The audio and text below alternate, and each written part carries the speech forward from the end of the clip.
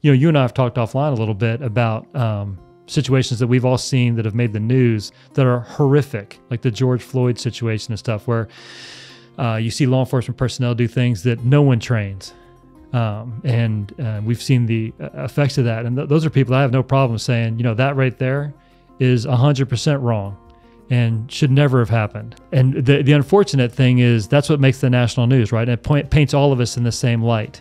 Um, despite the fact that I think percentage wise, we probably have the same percentage of bad apples that exist in in, in any profession. Um, and uh, but those people definitely shouldn't be working in law enforcement. And I think as a profession, we've put ourselves in that situation, and so we still have more work to do in terms of you know restoring faith and and confidence and trust in law enforcement and stuff. And so, everybody, thank you for joining us. Um, today, we'll be talking with Matt Langan. Matt Langan is chief deputy in Collin County um, in the Collin County Sheriff's Office, and he is also a veteran of the DEA. So he was in the DEA from 97 to 2001.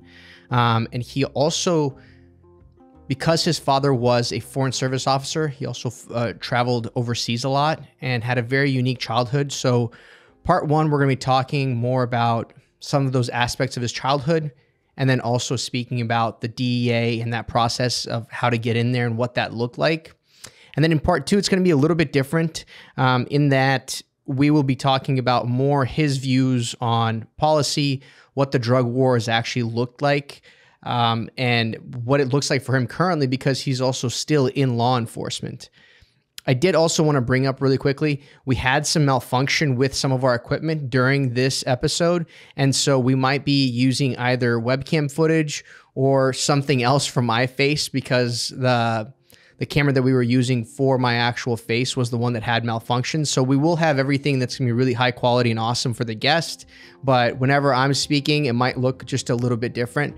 Um, I appreciate you guys just having the patience with that. We are dealing with those issues and they will not be occurring for future episodes. Thank you guys so much. Really looking looking forward to your feedback regarding this episode and and potentially having other individuals on that are also from that uh, federal law enforcement space and a few of those other alphabet agencies. Thanks again for tuning in.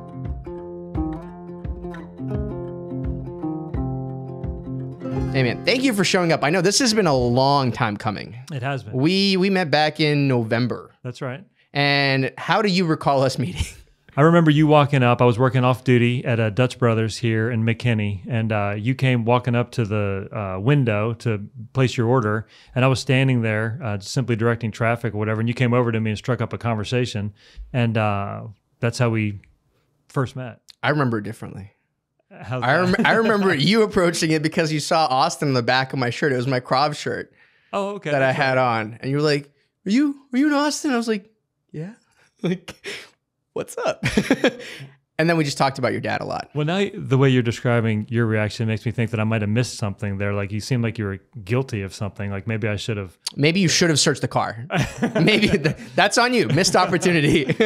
no, I remember. I do remember um, striking up a conversation with you pretty quickly. Uh, you're a, a, good dude. I could tell right off the bat, and. Um, and we did. We started talking about families and stuff. We started yeah. talking about you know places where you've lived and places where I've lived and stuff. And um, struck up a friendship. I didn't yeah. know that you did this. Uh, this was literally just germinating in my head the previous weekend, I think, or the following weekend. It was just something like it was. It was around that time, and so when we met, it was just the, the background that you had of being a DEA agent for a period of time. It was just like, right. oh, this could be really interesting. Like, it's not every day that you run into someone that's been in the alphabet agencies. Right. So it's just like when you do, you're just like, oh, that's really unusual. That's right. And then on top of that, like a lot of people have a curiosity and even romanticize, you know, the military, the alphabet agencies, you know, national security, all these things because right. we see movies and Jason Bourne and all this stuff. That's right and they're curious. That's right. So when we first met, you were describing to me, I think that you'd gotten your undergraduate degree in business or something, international business, a couple of mm-hmm. jobs and stuff, and you were thinking about getting into some different, uh, a different line of work altogether.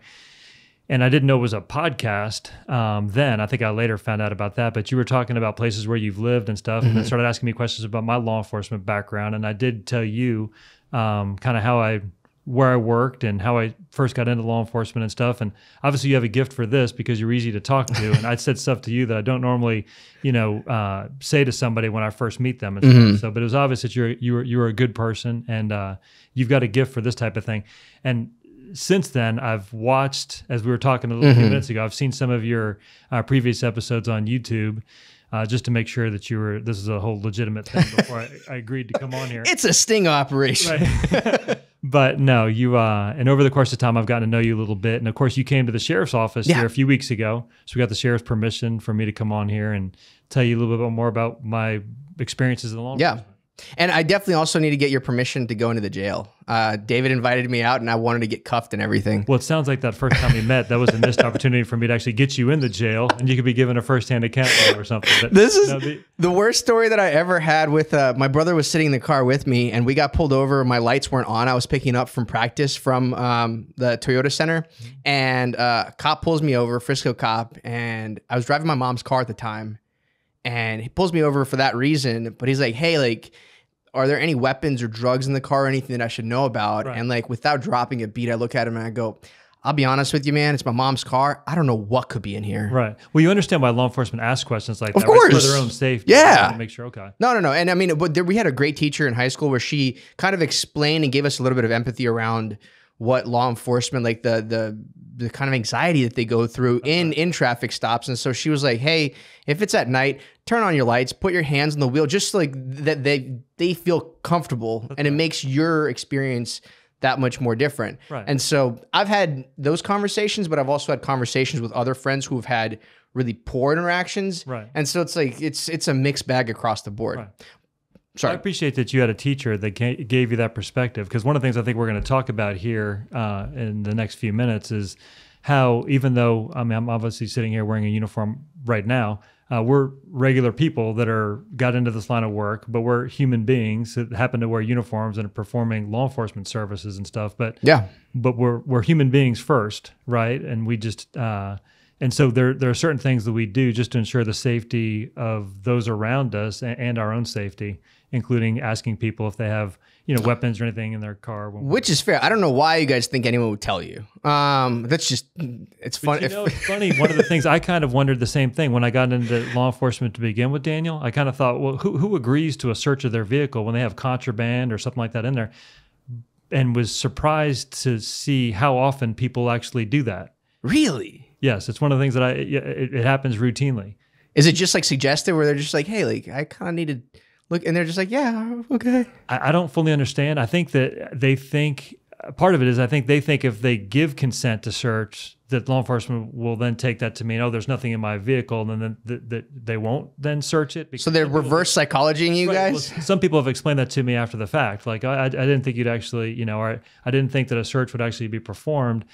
Um, it was my attempt to try to, you know, kind of thwart you all by saying, "Sure, come on and look," thinking you wouldn't do that and stuff. So, but you'd be surprised how many people um, allow or consent to searches of their vehicles or their residences when they actually have contraband in there. Uh, typically, what we do in Collin County, though, is we obtain a search warrant and stuff from a judge to make sure that anything that we find after the fact is definitely, you know, allowable in court and stuff. Yeah, like yeah, that. yeah. So, I mean, I feel like that's due diligence on your right. part. That makes sense. Um, so looking obviously at the fact that you were in the DEA, um, would you want to be a DEA agent in the 2020 era?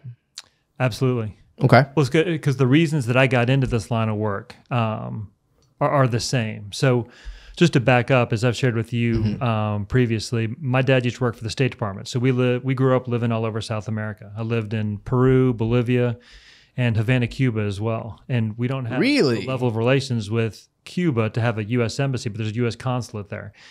But every place I lived, except for Cuba, we actually would have, we lived in houses that were much bigger than the one we could afford in uh, Arlington, Virginia, right?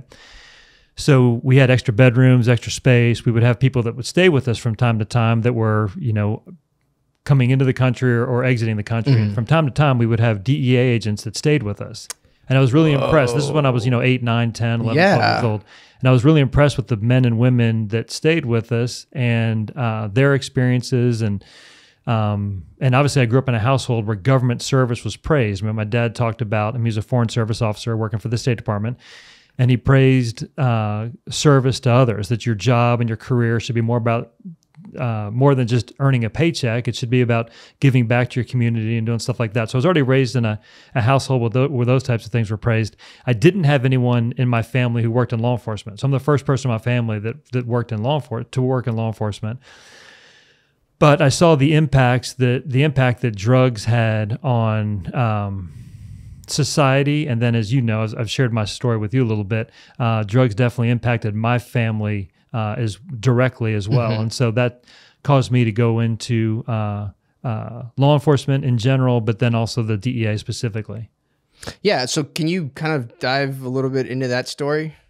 Sure. So um, I was 27 years old. I went to undergraduate. I, I obtained my undergraduate. So sorry, more more about the the the the primary reason for getting into law enforcement. Sure.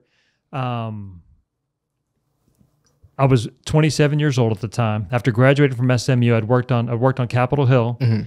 for a, a, member of Congress, ran his reelection campaign, worked on the on the House Judiciary Committee, and then was working as a lobbyist for AT and T, um, where I was making more money than I've ever made since, actually. But I felt very unfulfilled because I still had these, uh, you know, this my dad's voice in my head. Uh, saying that your job should be more about earning a paycheck and you should be doing more for, for, for your society and stuff like that.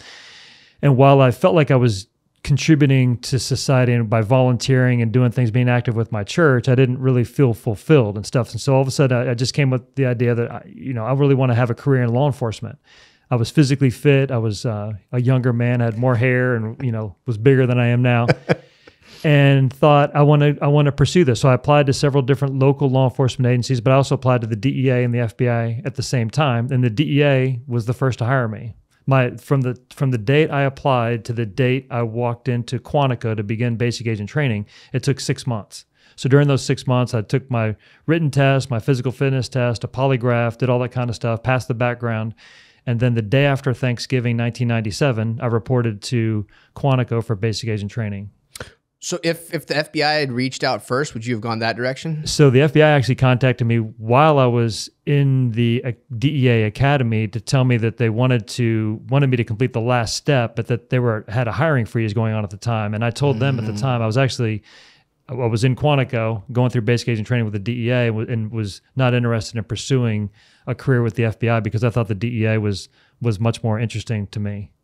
Well, that and I feel like you've got those like personal ties to why you aren't a fan of just drugs and the impact that it had. That's right. So, I mean, a little bit about that. My uh, my we have some substance abuse issues in my family. My both my parents were alcoholics. My dad was an alcoholic really? for years, but then got over that. But at the time my parents divorced, I was 11 years old and all we knew at the time was my mom had problems with alcohol. She went out to a uh, treatment facility and, and, and came back, but was living in, a, in, a, in another apartment. And then uh, she actually uh, left with who I later found out some years later. My dad didn't tell us this at the time, but there was kind of a local drug dealer that um, my mom started using uh, uh, harder drugs and ended up going off with this guy for like several years and we kind of lost touch. And then you know years after that my mom tried to kind of you know, reconnect with us and stuff. But um, the impact that had on me i'm, I'm obviously a, a, white guy who was growing, living in arlington virginia in a suburb. And um, it's just proof that that the drugs that are entering this society affect not just the inner city people, but in, but folks who live in suburbs, and and I think people have a preconceived notion in their head. Uh, people who are junkies, you know, people who have drug problems, they kind of have an image that appears in their head and they're not thinking, you know, a good looking, uh, successful, uh, middle aged white woman, you know, who just got hooked on hard drugs. And uh, it, it really did an impact on my, had an impact on my family and stuff. And so that's one of the reasons why I de- decided to, at the time, dedicate my life to uh, uh, fighting the drug war, if you will. Yeah. Have you? I mean, this. I'm just kind of curious now because my family also has a history of alcoholism. Has that has that bug ever kind of crept into your your individual life? So it's funny because when my dad, uh, he was he was raised Catholic and he raised us Catholic too. But when when they went through their issues again, when I was 11, 12, 13 years old, we stopped going to church altogether. And then uh, my dad went to several treatment facilities when he was when I was 17, 18, 19, and finally the third time he went, it, it kind of it, it took. But when he finally got himself sober once and for all, he gave me this book, and it was the the central theme is basically the the eldest children of alcoholics and the likelihood that you have to kind of fall into those same uh, that same lifestyle and stuff. And so I read that book when I was 19 or 20, and that had a strong enough impact on me to where when I'm going to SMU you know, from time to time, I would I would enjoy a few drinks and stuff, mm-hmm. but I felt like, oh my god, I'm drinking the second night in a row. I'm falling into these traps. I, I can't do this. I need to spend that third night at the library. Definitely, I can't go back out to a bar, or I'm becoming going down the same path and yeah. stuff. So, as I drink a beer. you know, I could ask the same question of you. So, what did did did your parents' issues have any impact on on on you? Definitely. I have a hard and fast rule, and I'm breaking it currently because you tricked me. Um, this was I blame you wholeheartedly. Um, earlier, I asked him he'd made a joke about like wanting a beer or something, and I'd completely forgotten. Like, there's a reason he's in uniform. This isn't like any sort of statement. It's just you. Your job actually takes you after this conversation to continue working. Like you still have other stuff going on. Yes, sir. Um, and so he'd mentioned like grabbing a drink, and in my literal brain, I was like, all right, cool. And so like I went to crack a couple of beers. he goes, no, no, no, I was just kidding, and I'd already cracked it. So I'm like, I can't like. Well, pour it down the drain. So so my hard and fast rule is I don't drink by myself. I don't do any vices by myself. Okay. Um it's only socially. Yeah. And so it. it's it's because of that, because of because of the addictive personality aspect That's that I right. think that I have um, genetically, and sometimes that I see it in some of my family. Um, I don't I don't smoke. I don't do any of these things unless I'm with friends, and mm-hmm. then it's you know smoke hookah or smoke a cigar, um, and then it's have have a beer. Have I smoked weed? Yes. Do I smoke weed? No. Well, just um, to be clear, just so outside this room, there were these things that I noticed that were on the on a table that they were actually they're titled earwax candles.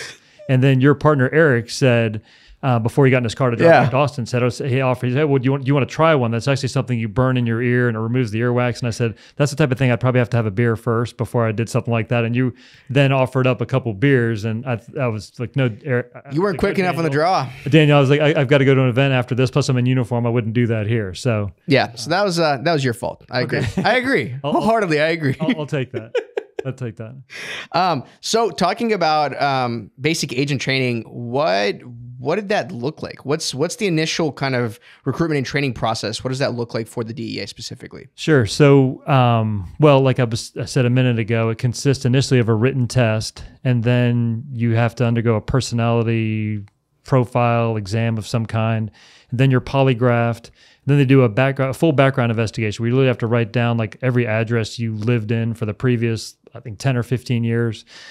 List a bunch of references, um, people that they subsequently go out and contact, and they ask each one of those references to give them three additional names of people Whoa. that knew me and stuff and could speak, could talk about me. And so I had people that were contacting me that I had completely lost contact with in years that, that were saying, "Hey."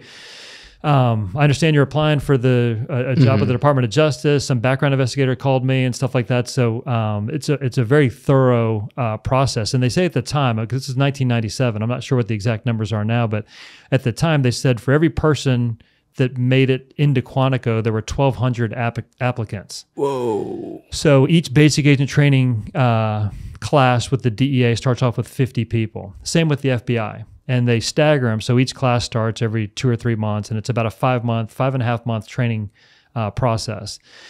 So, um, and then, you know, about two months into it, you actually are informed or told what office you're going to go to. So I, I, hired on in Washington D.C. They never send you back to your office of hire because they assume that you have ties and people who know you. So when you're working as a DEA agent, they don't want to put you. They don't want you to work in an environment where people could recognize you in the middle of maybe. Or you could be emotionally compromised. You could be that's true too. But you could be working in an undercover capacity and and and somebody comes across and says, Hey Matt, how you doing? and stuff. And you're like, Well, wait, I'm I'm My name's Joe. What right. are you talking about? you know, so they just so I I found out two months into it that I was gonna get sent to Detroit, Michigan. Um, and I was fine with that. That was one of the places I actually had yeah. had chosen because uh, little did I know I'd lived growing up in Arlington, Virginia um, I'd been to New York and Boston and several East Coast cities, and I thought Detroit was like most East Coast cities. And I found out after getting there that uh, unfortunately it isn't. It's a pretty rough area. Yeah. Um, you can tell what Detroit looked like back when the auto industry was booming and stuff. The architecture, it, you know, it's beautiful and stuff, but industry is just dried up with what happened with the auto, uh, the big three as they call it, the Yeah. automakers and stuff. And so um, there's not a lot of opportunity in, in Detroit.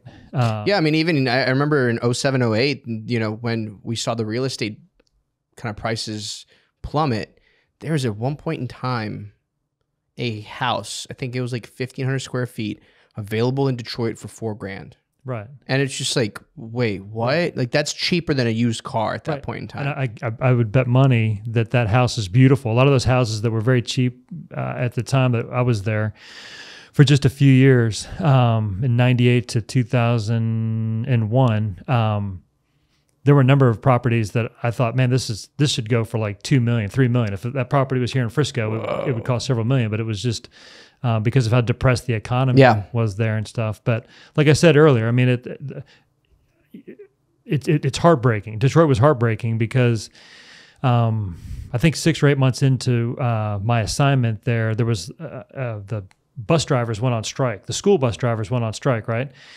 And so I remember driving in one morning and seeing this this mom holding her kid's hands at the corner and um, uh, walking away because the school bus didn't show up, right? But who who shows who who drives by every day? The drug dealers, right? So um, you you see that you know while all men are created equal and and, and that's all true, uh, opportunities don't exist. They aren't the same for everyone across the board and stuff. So. Um, Detroit was a pretty rough area to to raise a family in at the time and stuff. So I applaud those families that stayed on the straight and narrow and um, had their kids doing the right thing and stuff when there are a lot of hurdles and impediments in the way. I mean, I think you know, humans like like every every other mammal, like we we would sometimes prefer. I would say most of the time prefer the path of least resistance. Right. And so like when you kind of follow that, my parents did the same thing. Like every time that they got a better job or made more money, they moved us more north because South Dallas super rough. Right. At that point in time, Richardson was also getting rougher because it was South Richardson. Mhm. Plano, like it was like Plano was getting better. Like that was the first time where I wasn't a minority um, in a in a school racially. Right. Um, everyone, I mean, I think every every school that I went to, I was more or less in the middle socioeconomically. Like they're like, you know, when we were poor, we were fucking poor. right. When we were less poor, we were less poor, and there was other less poor kids around me. right. And eventually, like we were like, okay, we're now like, you know, encroaching into the middle class. Like we've gotten to the point where we can buy this house in this, you know, economic downturn. And luckily, my parents bought this house for just north of a hundred grand.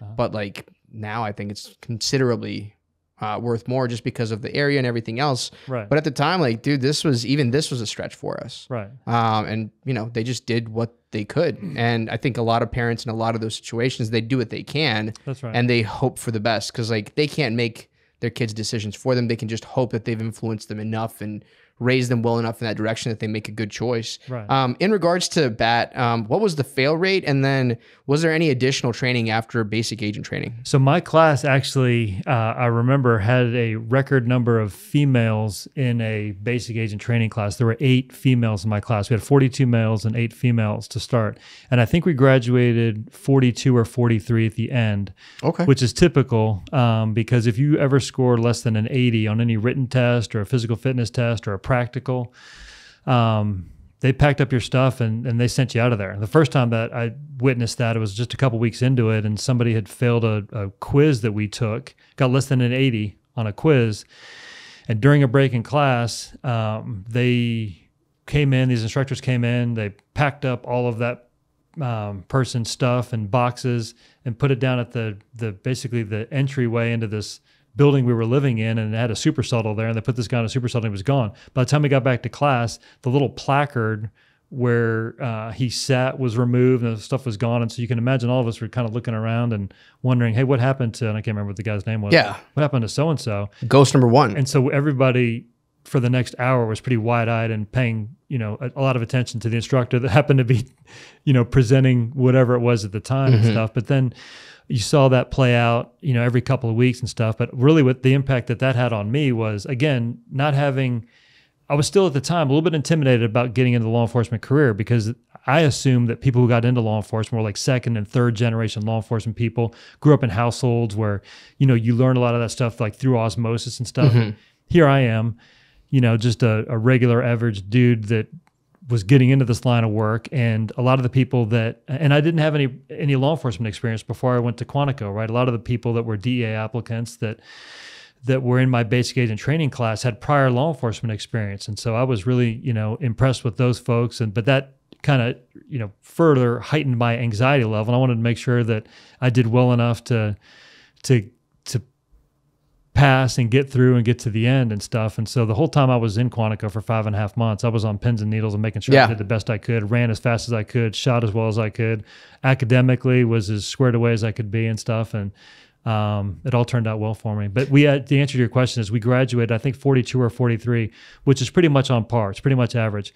Now the FBI typically graduates a higher uh, um, number of people per class. Uh, they don't weed out as many people, but uh, Is their bar higher initially? so their their training is a little bit different in that uh, first of all they have to learn a lot more um, uh, about applicable laws and stuff because an FBI agent is responsible for a lot of different things, right? Money laundering, they could get into terrorism, they could get into all kinds of things. Whereas a DEA agent, you just have to know a couple of federal uh, laws that apply to distributing drugs and then you know possessing drugs and stuff like that. So academically, it's probably a little bit. E- it, I would say it's easier to go through basic agent training as a DEA agent than it is as an FBI agent. However, I think that the physical fitness training, the practical tests, our firearms training was a little bit more strenuous than what the FBI uh, um, had at the time. Of course, it's 1997. All things have changed Yeah, yeah, yeah. And how many uh, out of your class of 50, how many would you say were fresh grads versus folks with experience? So I think I was one of the younger. Well, I was 27 years old at the time. So I was um, one of the younger ones. Um, I think there were about four or five people that m- were slightly younger than I was, um, but most of them had prior law enforcement experience that at least three or five years. Okay. That make I mean that makes sense. That's I was curious about the law enforcement versus military experience because I know some other agencies they kind of prefer folks that have a little bit of a military background as So well. So there were a few that had uh, military service, but not many. The DEA, you have to have a you have to have graduated from a four year institution with a GPA 3.0 or higher. So they're all you know university graduates, um, and I'd say about a fifth of them had prior military, but the rest of them didn't. Did those folks tend to do better later on as agents? Were they more effective agents having had that background, or do you think the folks that came in as blank slates as fresh grads with no law enforcement background tended to do better? I guess. I honestly think I couldn't discern after he graduated a a pattern like you just described. In some respects, and some of the instructors told us that um, you'll have an easier time learning what they're trying to teach there in Quantico if you don't have prior law enforcement experience and you haven't been through another law enforcement training academy because the way they train is a little bit different than the way the other law enforcement agencies train or other law enforcement academies train for example, like just uh, firearms, they teach what's called the isosceles triangle, where you stand with both feet on the line and your hands are, are like this, right, in the form of a triangle, in the shape of a triangle, right? Whereas other law enforcement agencies, I guess they kind of blade themselves. And so for some of these folks that had a lot of experience, their first couple of days out on the range, they didn't shoot as well because they were forced to shoot in a different uh, a different manner. But I do think that people who had prior law enforcement experience and had been through an academy of some kind probably had an advantage because they, they had a better idea or a better sense of what they were getting into and what the environment would be like. Um, but I think that um, I mean, yeah, it would probably be easier to get through the academy itself, but wouldn't necessarily make them better better agents or have them like have them pick up some of the other more academic stuff as quickly. I guess That's right, because we're all learning a new job kind of together at the same time. So, um, and the DA was real intentional at the time about hiring people that had different backgrounds. They didn't want everybody. They didn't want people that had the same type of experience, which typically in law enforcement is a little bit of military experience, and then you know civilian law enforcement experience, and and um, and I know that's part of like the DOJ's strategy with both the FBI and the DEA uh, to prevent things like groupthink and people from you know seeing things the same way and stuff. So uh, there's value in hiring people with different backgrounds, people who speak different languages, have had different types of experiences in their in their life. Um, Was there a lot of like racial diversity, or did you just see it? I'm just genuinely curious. I mean, it was also '97, and like I wasn't even here yet. Where, where were you? I was in Bosnia. I got here in Oh, okay. '98. That's- that's- well, I was, I was like, how old are you? I thought that you weren't even like on the earth. I'm yet. actually 21 now. The, I was gonna say you're old enough for that. The uh, At least. it, it's funny you bring up race because my um, my experience is a little bit different. Obviously, growing up for the most part, living all over South America, my parents were real big on us not uh, uh, on us assimilating in whatever community we lived in and whatever culture we lived in, whatever country we lived in. For example, they didn't let us go to the commissary to buy the American food that was there at the embassy and stuff like other embassy kids could. do. I was always envious of that. Like I wanted to go to the commissary and buy Cheetos and stuff like that. Why am I eating these other potato chips and stuff? But because through those experiences, though, you, um, I really value and appreciate that because you see things from a different perspective. But I, but living all over South America, I was around people that uh, had a different skin color, uh, right, and spoke a different language. Even at the American cooperative schools we attended, they were attended for the most part by uh, folks who lived in those communities and stuff. There was typically embassy kids and like oil executives kids would go to these American cooperative schools, right?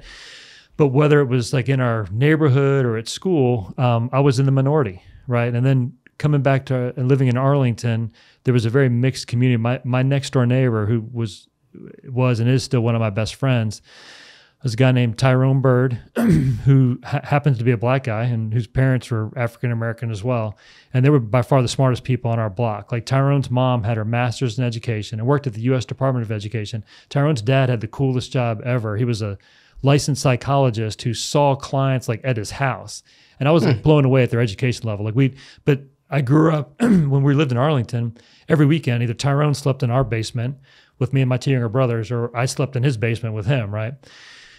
And so that's just kind of how I grew up. And with the, the struggles that my parents went through, Tyrone's mom was the one who would ask about us all the time and re- remind me loudly in front of my dad that like the grading period was about to end. Make sure you got your grades up and stuff like that. I was like, you know, kind of, you know, come on. At the time, I didn't really appreciate it as much. But Yeah. she was like a mother figure to me. Mm-hmm.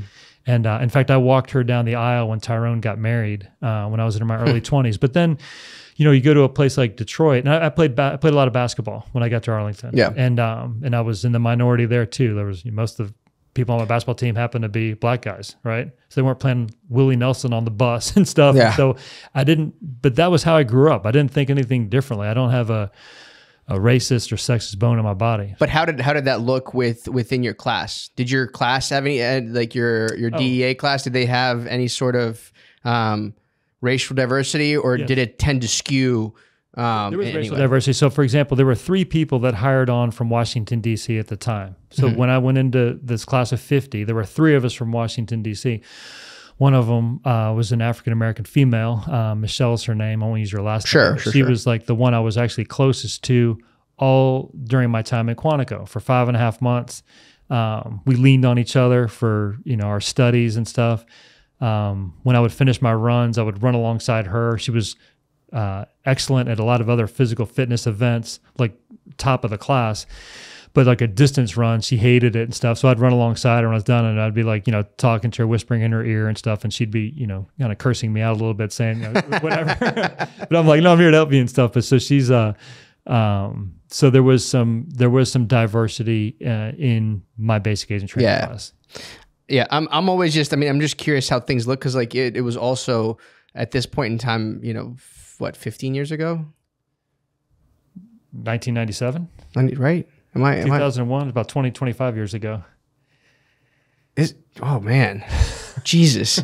My sense of time dude COVID has messed up my sense of time completely COVID. now. I, I'm gonna blame no I'm just not. It's definitely me. Um so when looking at the at the candidates that were selected was there any sort of pattern in your class or later on when you saw with other agents of a of a certain personality traits, not a specific like they have to be an extrovert and a blah blah blah. Right. But like, did you see any sort of uh, commonality in in one or two traits that like really stood out? No, you know, so like I was telling before, um, I was anxious when I was first accepted, right? Because I thought everyone else knew a lot more than I did about law enforcement, even coming in, right? They were products of families that had law enforcement and a lot of the folks that I had even met when I first got there, like down in the lobby as we're all checking in. I, I knew that there was one guy who was a, a, trooper in South Carolina. There were several people who worked on the border as border patrol agents mm-hmm. and stuff that were there.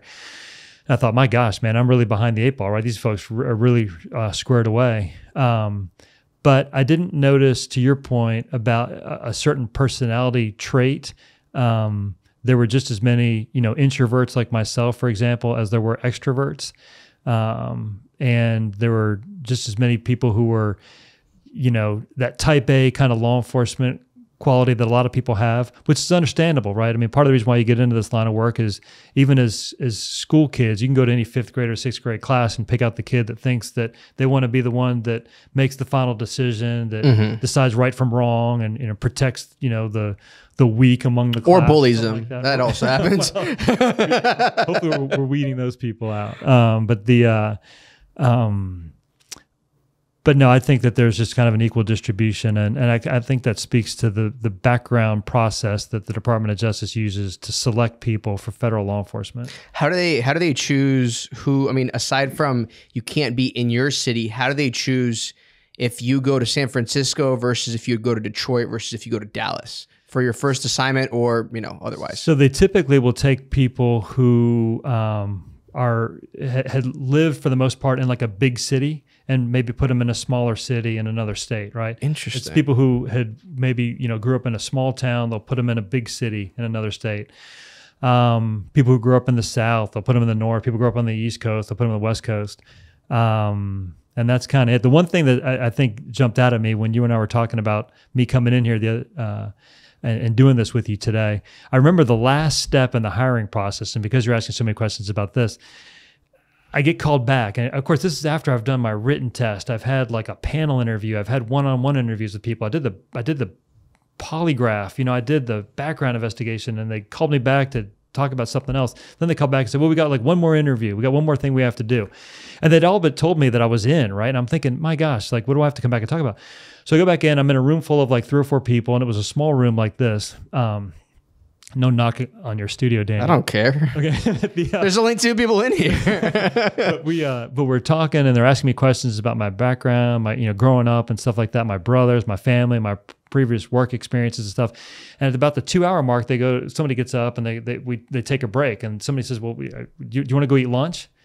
and I thought, like, well, yeah, but I'm still kind of anxious because I'm like, I'm still interviewing. You're in interview mode, right? And and they said, and I and I said something like that. Well, I mean, I, I I'll just uh, power through the interview until the interview is done. They're like, oh, dude, you, you got this. The last step in this process, though, is a group of us want to meet with you to make sure that you're the type of person that we, we want to sit in a car with for eight hours. Because a lot of times that's what the job comes down to, right?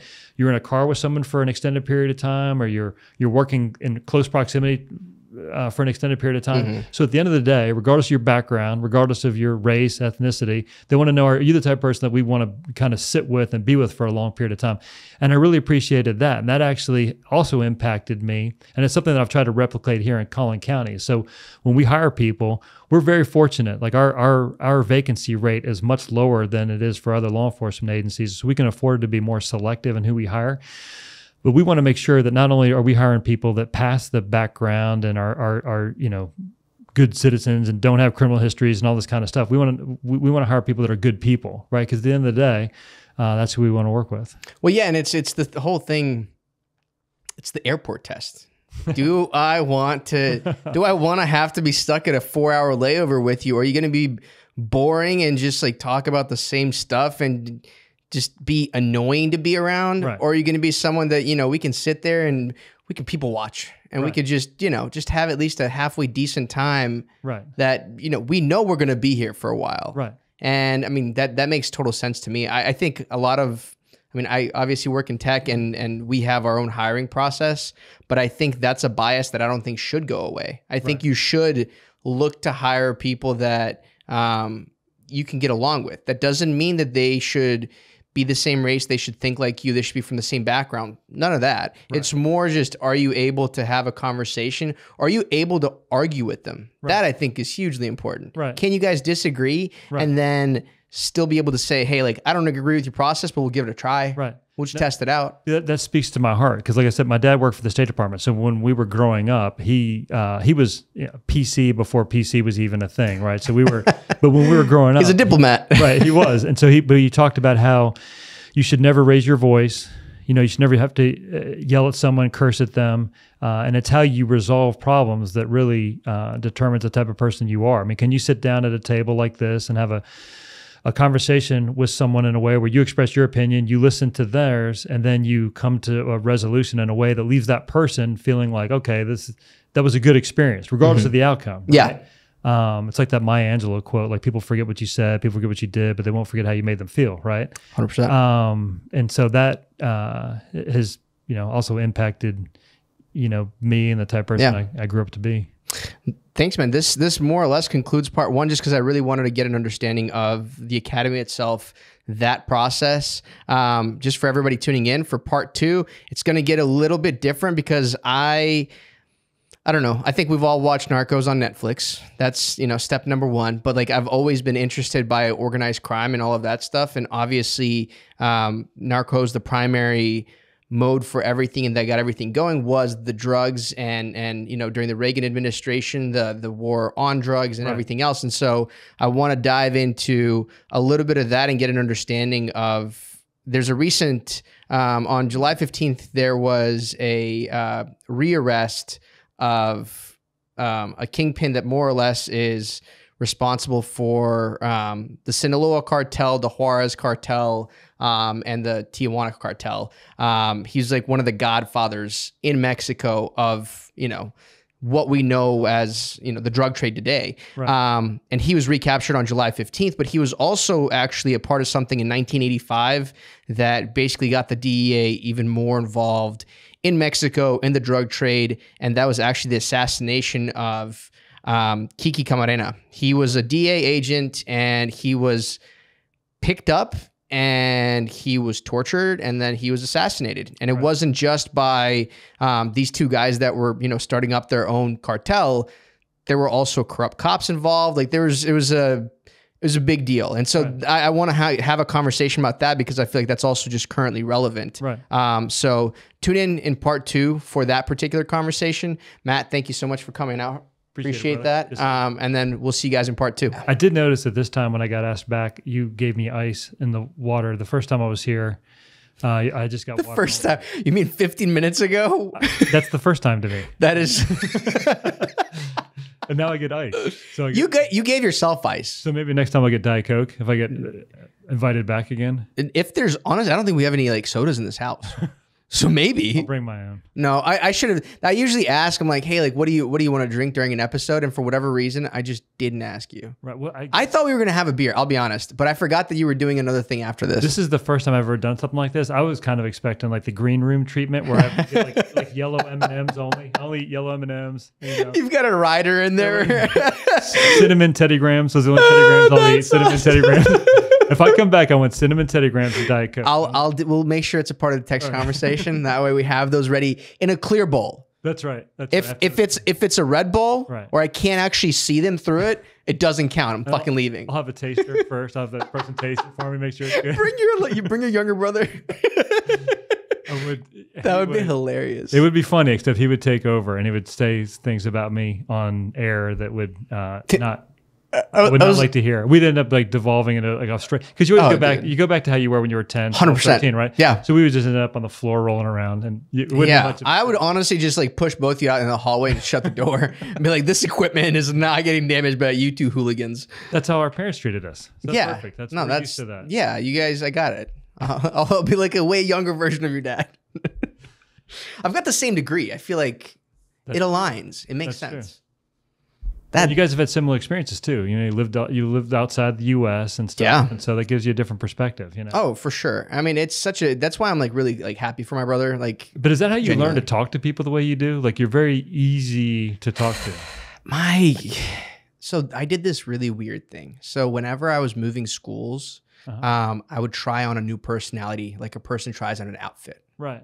and so i moved three different elementary schools two different middle schools two different high schools and two different colleges so every time i moved I just I didn't know who I was because I was this kid that was stuck between two worlds. Right. I was also someone that like I grew up in the 90s so like you kind of have you have to be something. You have to be some sort of archetype. That's your identity. Right. And You're I an was athlete or an artist. Or you're this. You, exactly. And I was this like short, fat, nerdy kid for a long time and I was just smarter than other other kids, so that was my that was my role was to be the witty shitty kid. right. And I didn't really feel smart. I just like got my stuff done and I came home and I read books. I Right. hated going outside. And so every time I moved, I'd try on a new personality type.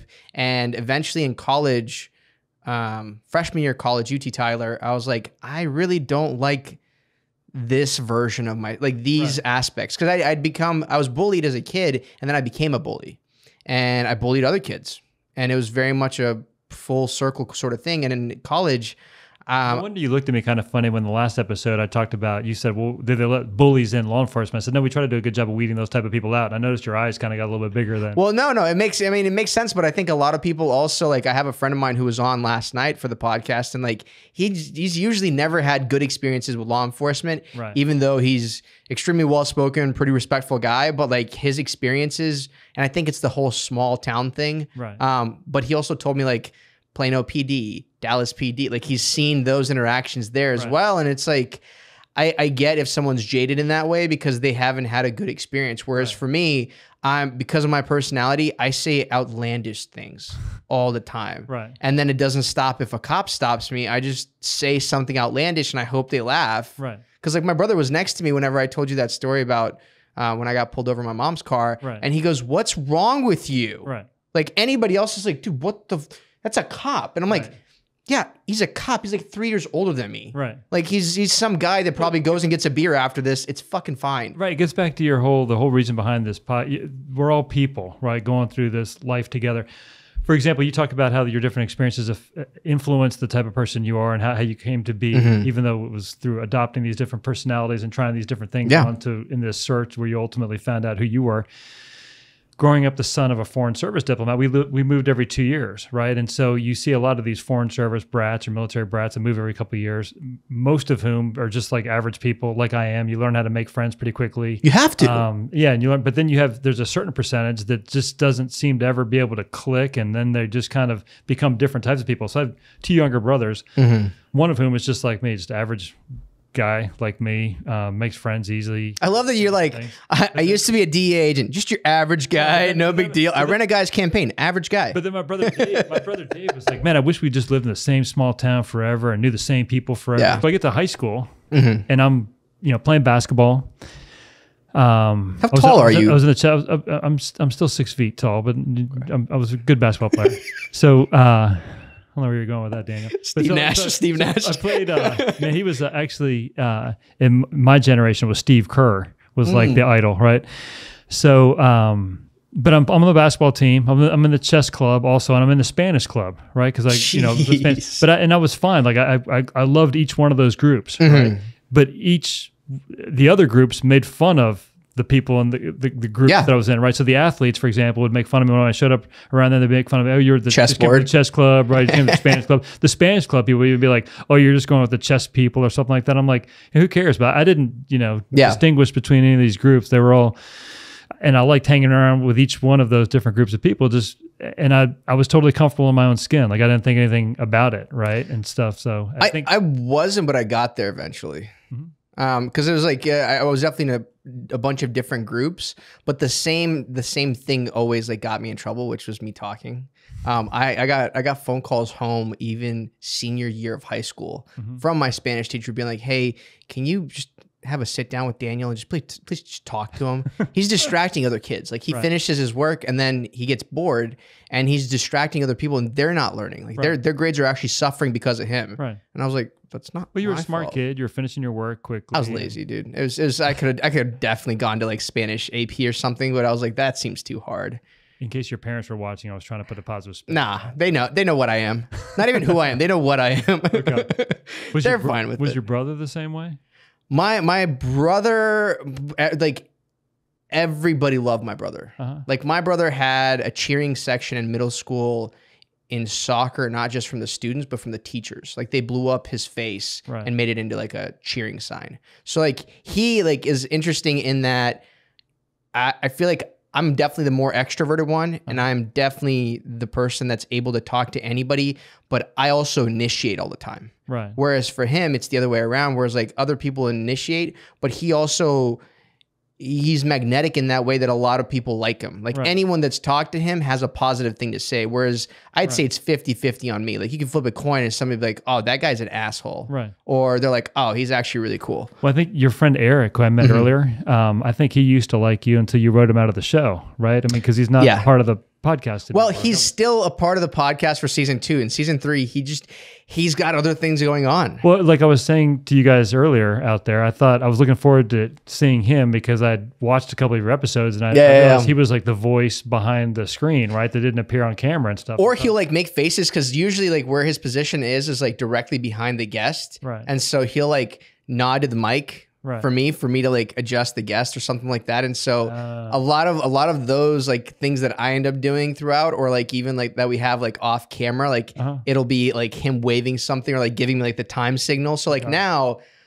I don't. I, I do everything by feel more than anything. So like I'll check. You're kind of rudderless though without Eric. Is the sense. Um, I hope not, because uh, if that's the case, shit.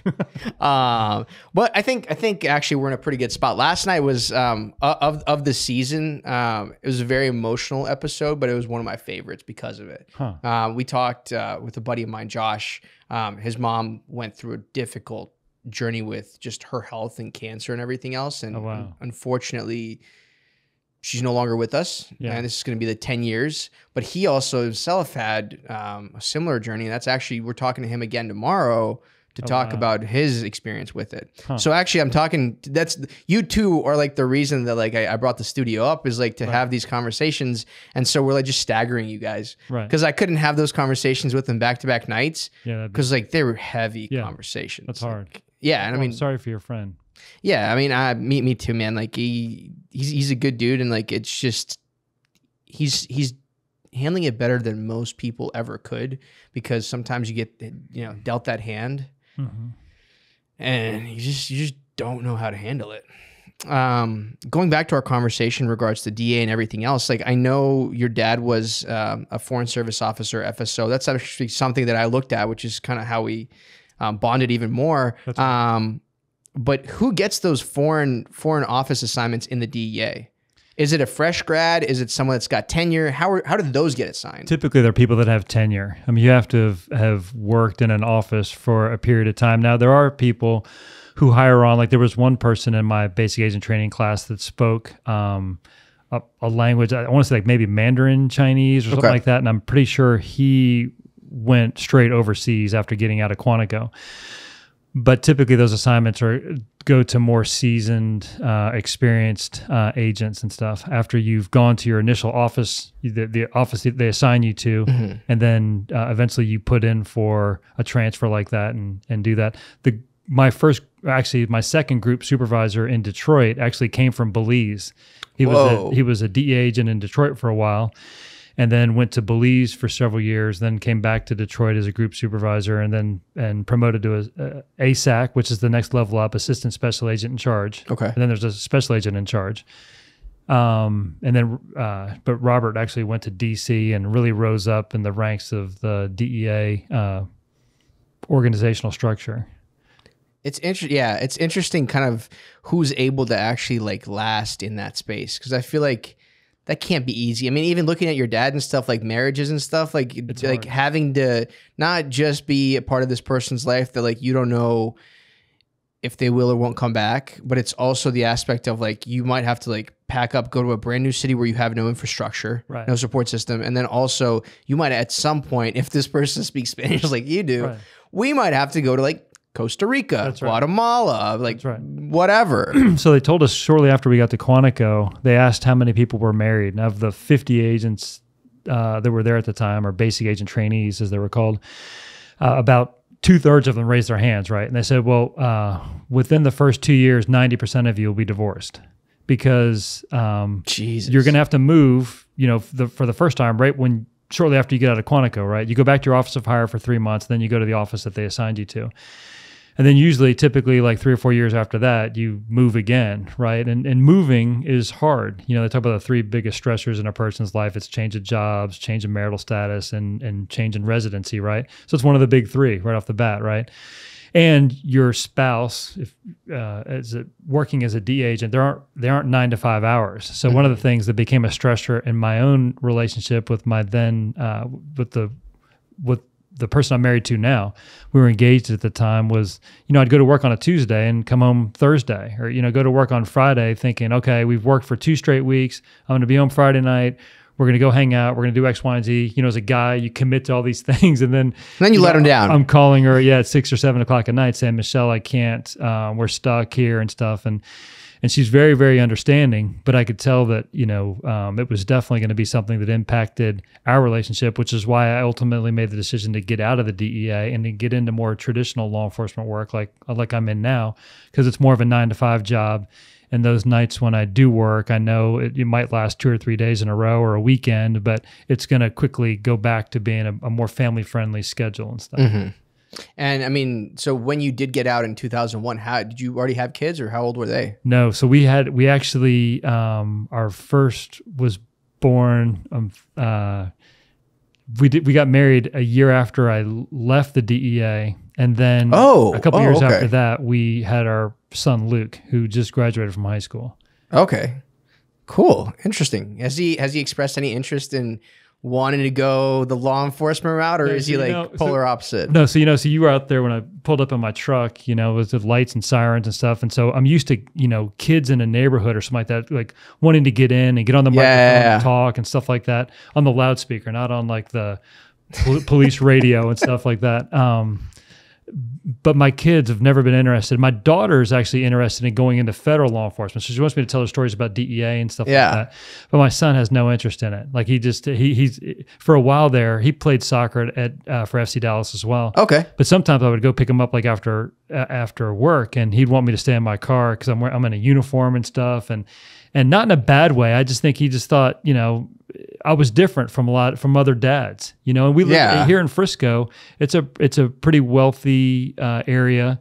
And most people are, are very successful in uh, the private sector and stuff, Yeah. and they're not, you know, working for the government. And they're not working. Uh, they're not wearing a uniform to work. I mean, their uniform is you know, designer jeans, maybe in a nice shirt or a suit or something like that. So I look different and stuff. But I think that that's, you know, understandable. I think a lot of kids um, look at their parents differently or they think other, the parents of other kids are, are cooler and do Oh, more sure. interesting things than what their own parents do, you know, so it's not bad.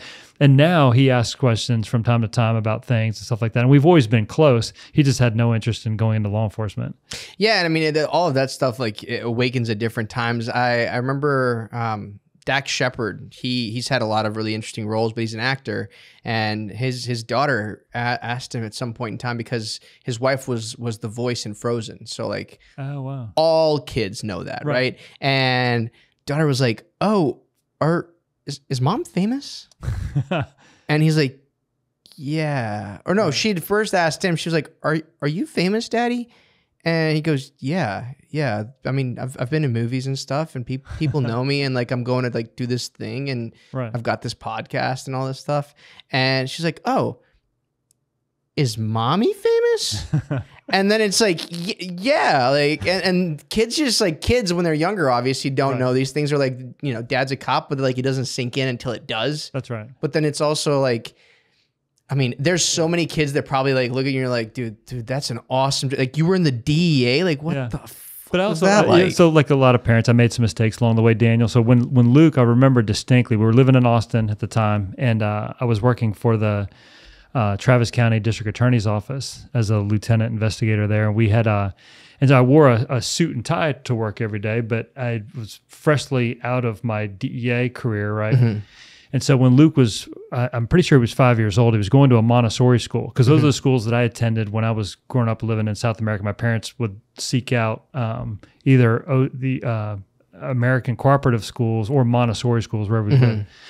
And so I wanted my kids to go to Montessori school because I thought it's a good learning environment and stuff. And so, but when Luke was five, I, I, I sat him down because you know they, how they do those studies where they they uh, every year where they try to determine like what at what age are kids first exposed to drugs and what age are they first exposed to whatever? And at the time No those those were decreasing. And i saw that like kids at a younger and younger age were being exposed to drugs for the first time and, and doing things like that. So I sat Luke down. He's five years old, and I said, "Listen, I'm gonna have a conversation with you about drugs." And you know, he's wide-eyed and looking at me and stuff. And I talked about the different ways drugs can be in, ingested. Right? I mean, there are people that will, you know, use a needle and ingest. Oh my God, Dad, I hate shots. I can't imagine. Like, yeah, there are people that ingest drugs that way.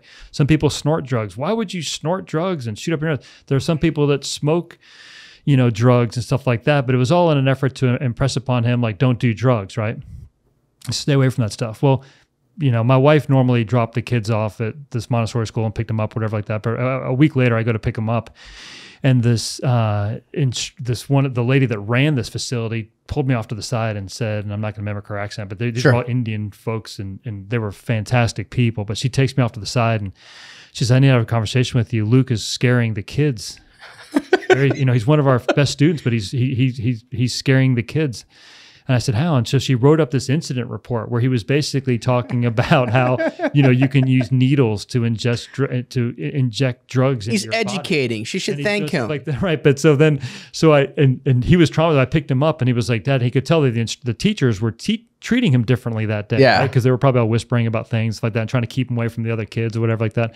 And so I explained to him, man, I'm sorry, Luke. I said, here's the thing. I'm just more sensitive to this type of stuff because I work in law enforcement. I want to make sure that you, you know, you get the benefit from my experiences, stuff Mm-hmm. like that. So I think along the way, he probably thought like, man, this law enforcement stuff is getting me in trouble or, you know, putting these ideas in my Yeah, and yeah, I'm yeah. saying stuff in school and getting in trouble for it and stuff. So, you know, I don't know, but I, I, I do remember that experience he had early on because he still talks about that. That was obviously That's traumatic enough, interesting. yeah. Yeah, but I mean, I mean, for a lot of kids, I think that's very positive because I've also heard some friends, you know, in the past or friends of friends where they're just like, "Yeah, I smoked weed for the first time when I was 13," and I was like, Right. I can't wrap my head around that. Right. Like at the age of 13, I was barely, you know, figuring out what football was and Right. this and that, and so it's just like those life experiences like i feel like if if if someone you know had sat down and had those conversations i think that would that would allow kids to at least be kids for just a smidgen longer Well, see, to your point too, Daniel. I mean, the biggest thing that we're experiencing now in law enforcement, because you ask a lot of questions about the DEA specifically. So with about drug use specifically, a lot of attention has been paid in the past to meth and the dangers of meth, and obviously the different ways in which drugs are coming into this country and the problems on the mm-hmm. border and stuff like that, and how that's uh, led to an increase in in, in drugs uh, being you know being brought into this brought into our country. But the biggest problem is is fentanyl and the casual transference among drugs with, with the kids. Like a kid will give a friend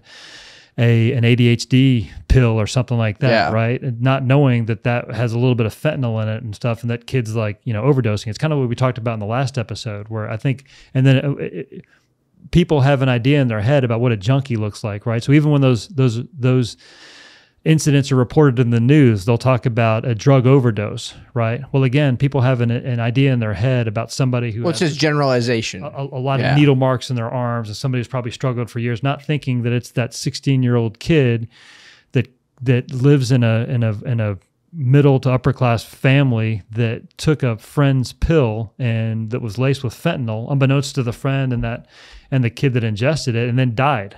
Right. Well, I mean, it, it could it could be somebody like it, it. It doesn't even have to be like in the middle class arena. It's like Right. it, you you could be doing drugs that you have done for a long time That's that, right. that have been quote unquote safe ish, I guess for for that environment. But like I I saw I saw a graph. This was three days ago, I think two days ago.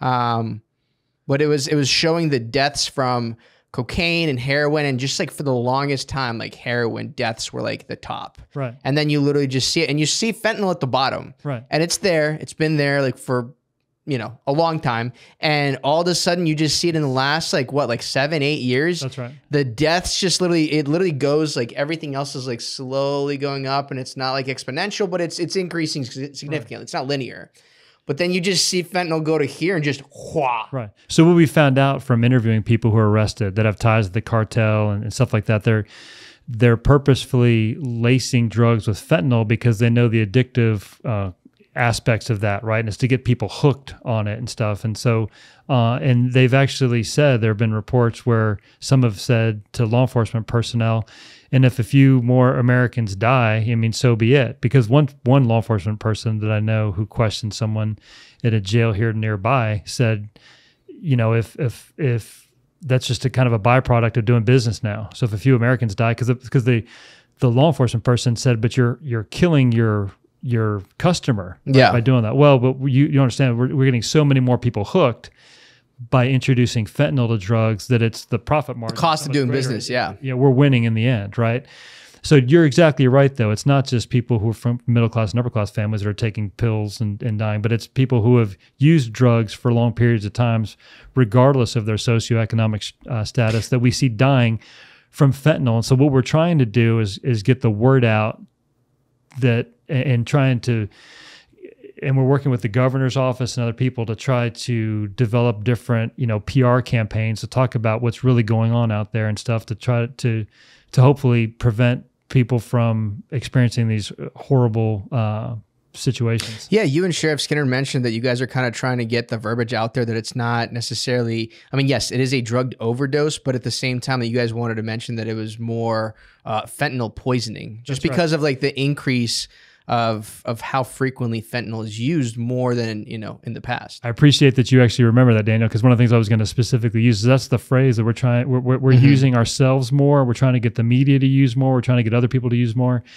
Is these are fentanyl poisonings. They're not, they're not drug overdoses. Um, I mean, they technically are still. I mean, the drugs are a part of it, Right, Like, but not in the traditional sense. These aren't drug overdoses in the traditional sense. I mean, occasionally what you'd experience, what I experienced with the DEA, actually, is you'd get a really um, high strain of heroin that would come into an area, and you'd get these heroin overdoses, right? Because Could, could, do, do you was too high. overdose from like a pure pure heroin or just stuff that's like mixed and laced and You cut can- and stuff? It can be both, but typically what happens is you get a strain that's too pure. In other words, they didn't introduce enough cutting agents in there and stuff, and so you get people dying. But in some in some of those situations, what was happening is those heroin dealers were intentionally putting out a more pure strain, trying to get people hooked, right? Not realizing they put too pure of a strain out there, and people were dying. So that was one of the things that even when I worked with the DEA, you get like in a place like Detroit, which was kind of hard to judge because at the time I lived in Detroit for a few years there, it was the murder capital of the world of, of, of the U.S. Right? Yeah. maybe the world too, but it was definitely the murder capital of the U.S. And so there were you know eight to ten to twelve people dying a day, and That's insane. so it's hard to pick up on patterns like that because the there are so many people dying, but but um and, and through by being killed by others or drug overdoses and stuff like that. But we there were several times when we got pulled off of the cases we were working and told we've got to go in and investigate this this one particular area because they've had a, a rash of deaths in a real short period of time and we needed to kind of figure out what was going on. Well, I mean, yeah, you had to contain the deaths at that point in time, and yeah, that's so insane. But the science behind this stuff is incredible, Daniel, because we would actually have these uh, things from time to time. We would get buy heroin and send them off to the DEA labs, and they can tell the exact hillside of the country where that heroin, that strain came from, and stuff. Um, which was just really kind of remarkable, which is appealing because I know that's your kind of your background. You're a smart guy. Um, I'm the typical average. I love that you said that's that's appealing to you. Heroin, that's No, appealing no, no, too. because you're intelligent, because because you're a smart guy. The science aspect. It was me. I'm just a typical average cop that's not that bright. And so I was like, oh, okay, this is like where this stuff is kind of it's kind of cool, but I didn't understand all the science behind it and stuff. So I mean, dude, I'll be honest with you. You remember those um the the TAKS tests, the the placement yeah. tests? I barely barely passed the science one. I don't believe that. Uh, no, that's a fact. I passed it with a 70. I, I passed all the other ones, um, reading, math, all that stuff, like Right. 98, 100, like just whatever. Huh. But the science one, for whatever reason, Right. could not do it. Love biology though. So like biology, chemistry, I can do those. Physics is fun. I got to make a catapult. That was uh, in college, dude. Okay. If I knew that I could take physics and then make weapons from it, I would have graduated like with a degree in physics. I just didn't know how that worked. And also, if anybody told me that I could be a gunsmith, Right. I wouldn't have gone to college. Huh. I would have gone and done that. That seems amazing. I've still looked into it. Even even now, like even working like in tech, I'm just like, so how many years is it to apprentice for that? Like that seems really cool. Right. Like just just interesting. So are you thinking about actually doing that for real? I I don't know. I I don't I don't think so. But like Huh. I wouldn't be surprised if one day I woke up and was like, "Fuck it, Right. I'm just dropping everything and I'm gonna go be a gunsmith." I don't know enough about guns right now. Well, so I appreciate you saying that because what I was about to say is, you know, I think again, my idea of most people in law enforcement was that they they grew up shooting guns and you know did all this stuff. I remember when I get to Quantico, 27 years old, the instructor said, "How many of y'all have never shot a gun before?" And I'm sitting in the front row. I, I raised my hand. They're like, "Okay, three of you." And I'm looking around like, man, there's 47 out of the 50 that are like, man, what, what the heck's going on? Um, but I still to this day am not a gun nut. Like a lot of law enforcement people when they get together, they're talking about different rifles and ammo types and stuff like that. I can I, I can talk about those things in generalities, but I'm not. You know, you give me some strange model weapon and I can't take it, break it down to its basic components and reassemble it quickly like most people I work with can. Yeah, yeah, I, yeah. I respect that and stuff. It's just not something that I, I'm just not a gun nut. You know, I know how to use mine. And, Yeah. And but that's and how to properly, you know, safeguard it and clean it and take care of it and stuff like that. But I'm not I'm not a gun nut. So if you go in and become a gunsmith, I'll learn with you as you go. Oh, dude, yeah. I, I, I, I mean, it's it's definitely up there for things because I find I don't know why. I I- I think it's because I grew up in a war zone and it's Uh-huh. like not supposed to be something that I enjoy. Right. And I think it's because of the, that, that that reverse psychology piece of I'm not supposed to like it. Right. I absorb books, movies, any sort of literature on wars, history of war. Um, my elective classes weren't like anything that anyone would consider fun. I went and took ancient civ to better understand how uh, how those earlier societies how married they were to war and how that was intertwined with their societies That's cool. like to understand what the actual warlike culture was and why it evolved the way that it did and how it did. And so it got to the point where I was teaching other ancient civ major students. Uh-huh. I was tutoring them in their own major, even though I was a business student, Wow. because like I, I love the subject. The subject to me is just so interesting. Right. Um, and that was another thing that I probably should have done is just like screw the business degree. I should have just gotten an ancient civ or like history degree and had a great time.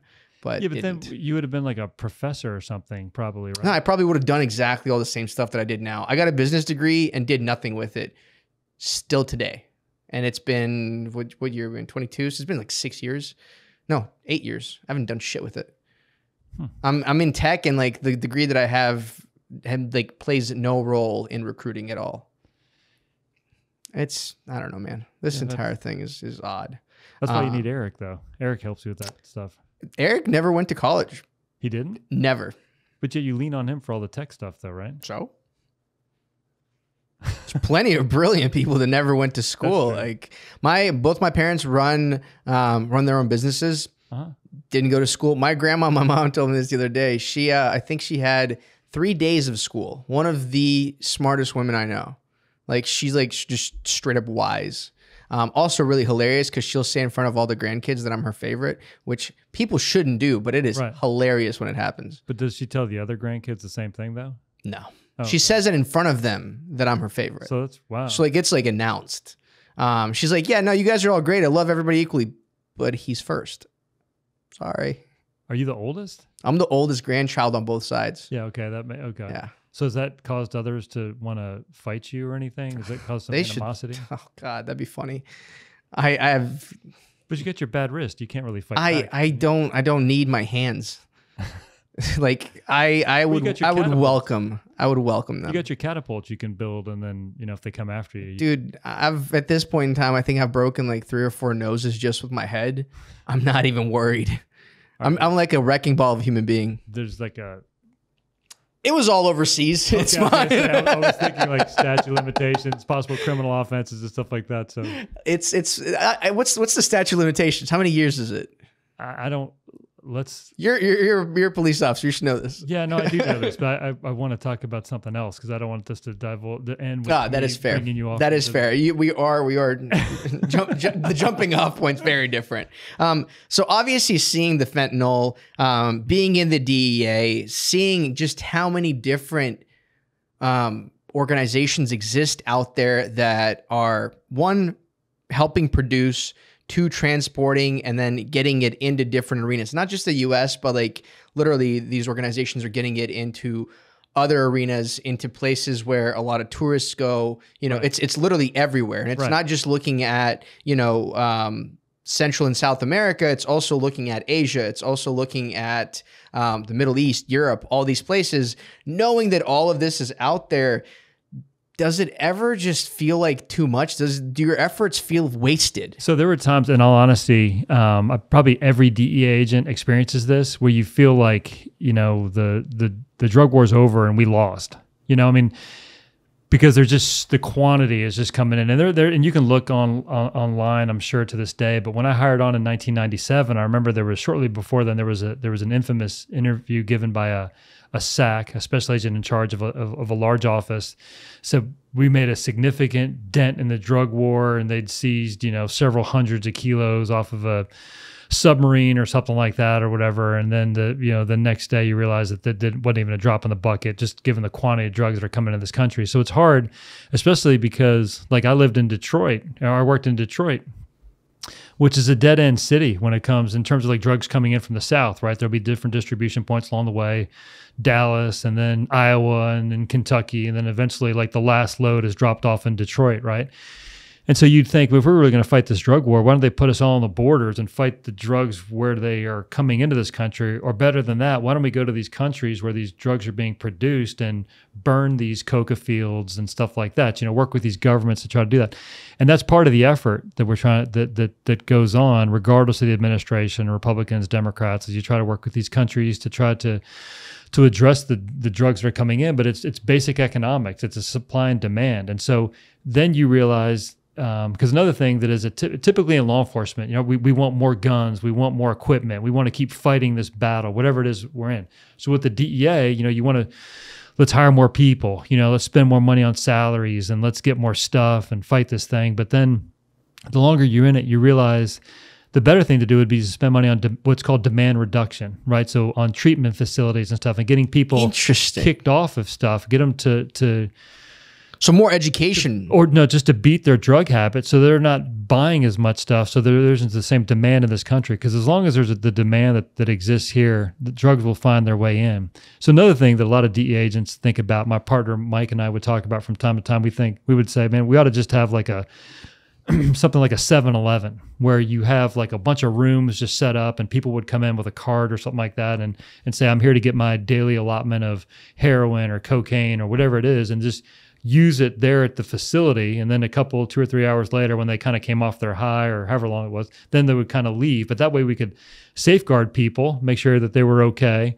and that they weren't going off and committing some criminal act while they were high or stoned or whatever. You know what i'm saying? So then you, you think about things like that but uh, all the while you're you're still fighting your drug war. Um, and i remember at the time too in detroit um, I think it was 95% of the ecstasy that was coming into the country was coming in over the Ambassador Bridge or through the tunnel there into Detroit. It was controlled by the Russian mafia. It was coming in that way.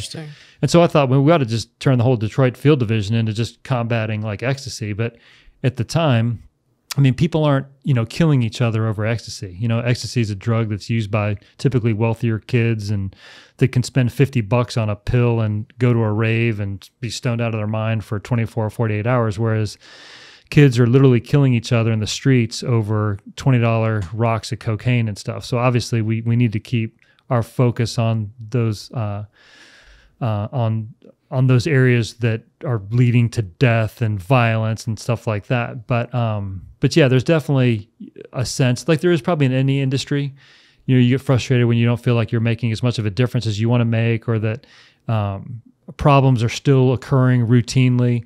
Uh, and, and, maybe that's something that in law enforcement you see you know more of like even in local law enforcement you know you get called out to that same house you've been to multiple times you know and it's tough to go back with the same energy because you know the couple that's fighting or you know the issues and you kind of go out there and one of the things we talk about routinely in our office is we treat every call for service as if we're going to the home of a family member, right? So treat like you're going to the home of, a, of, of your mother. How would you want your mother treated? How would you want your father, your brother, your sister treated?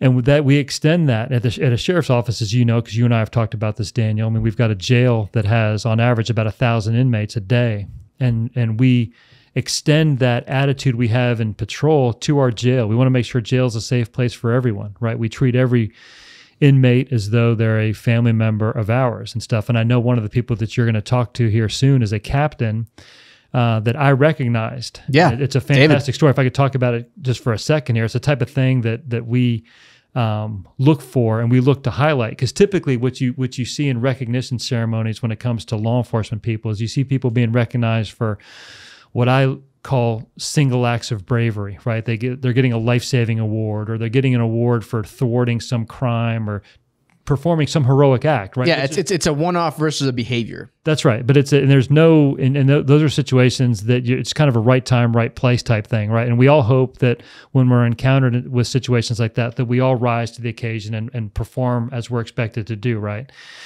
Um, but when it comes to being kind towards others and showing generosity, those are opportunities that are available to us every day, right? So we had a, you know, uh, we had a detention captain. Like we have a lot of personnel over there, but this one detention captain um, befriended a young lady, and I won't go mm-hmm. into too many details. Yeah, he's actually going to talk about it whenever we talk on Saturday. Yeah, he's, so he's um he's a remarkable guy, but he he befriended this young lady that uh, was a junior who um, got in trouble, found herself in the county jail, and uh, David uh, befriended her, went and talked to her, and she quickly, after just being in our jail for a couple of days, developed the reputation of being a difficult. And mm-hmm. she was fight combative, verbally abusive at times and stuff. And so he he took it. He took her aside and said, "Hey, you know what, what what's going on?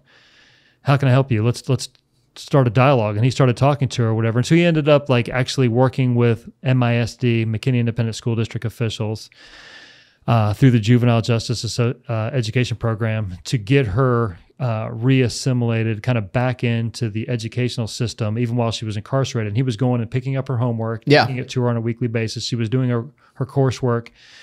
To get her back on track to graduate. Over the course of several months, and to where the day before she was released from our facility, after about eight months, I think, seven or eight months, she grad she did enough coursework to graduate the 11th grade. And then uh, unbeknownst to Dave, he, he gets he goes and visits with her the day before she gets out to to share in that you know experience with her and says next time I see you better be at your high school graduation. Well, life goes on.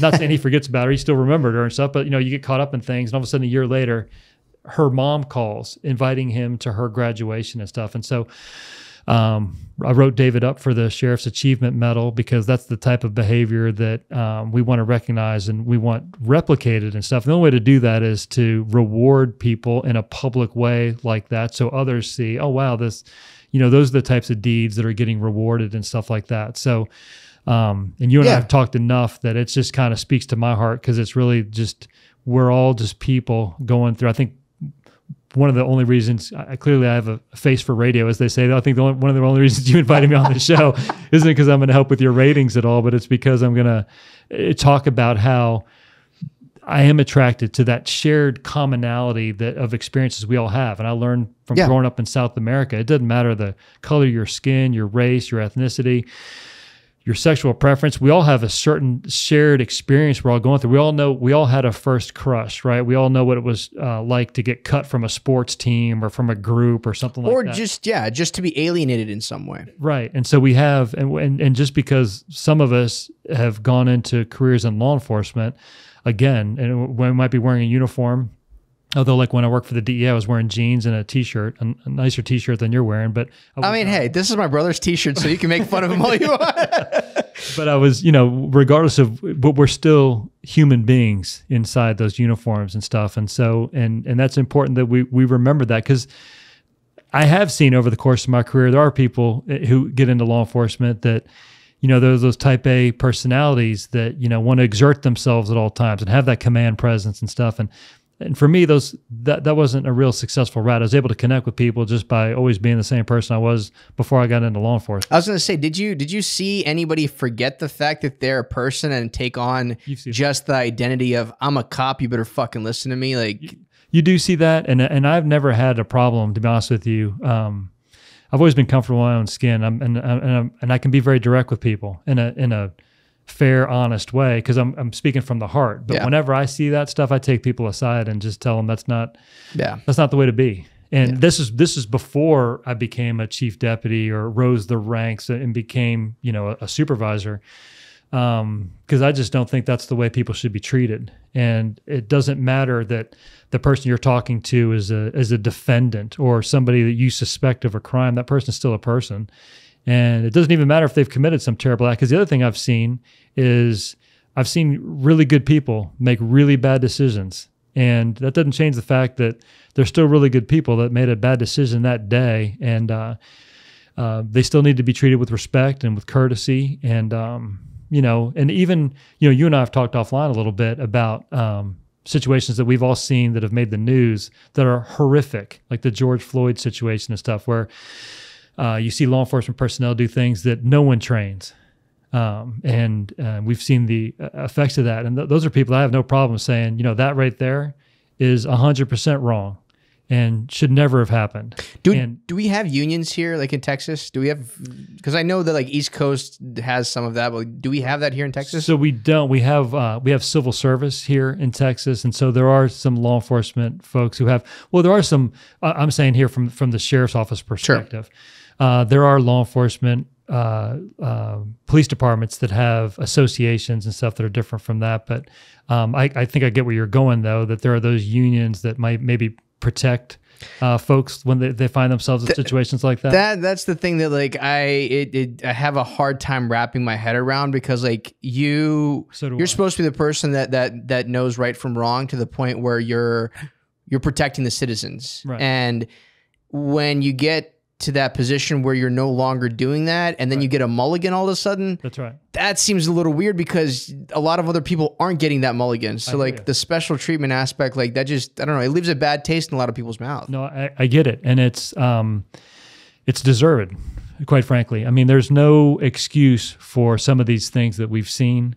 Um no one trains that way. Uh, it's obvious that there are uh, some people, though, that have have have done things and, and maybe not say gotten away with it, but have become used to doing things. And so ultimately it's resulted in them taking an act against someone that resulted in a death that made it rise to this level and stuff. But, um, and the, the unfortunate thing is that's what makes the national news, right? And it point, paints all of us in the same light.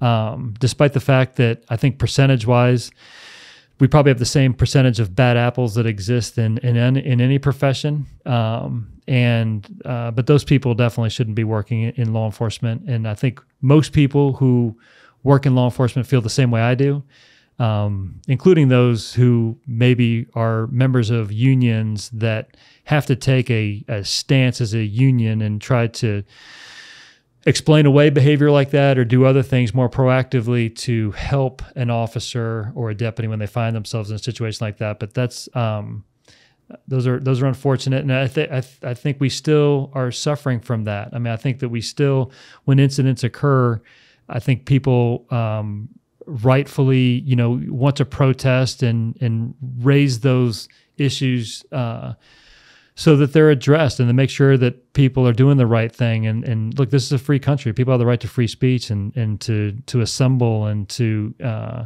and so I don't have any problem with people doing that. We've had protests on a, in the Collin County Courthouse about different things. We've had protests at the jail about different things that have happened and stuff like that. And there are some people uh, that you know don't like stuff like that, or they think like, man, this is this is not really fair because this didn't happen that way. And I'm thinking, hey, wait a minute. Like, if I was on the other side, I might have the same concerns and might be taking the same action and stuff. And so, um, I'm how do, sorry, go ahead. No, no I, I was gonna say. So then, how does that how does that work out? Like, um, and, and, I mean, I'm not in this, so I don't know. I'm genuinely just asking. But how does that then affect the if, your opinion um, of the use of like the body cams and then like right. body cam malfunctions? And then I've also heard of like other departments like as soon as they have the body cam on they're playing like disney music or copyrighted music that way if it gets posted like right it it, it can't show up anywhere on the internet so like in those situations do people have the right because we have you know the freedom of speech and freedom of action like do we have the right to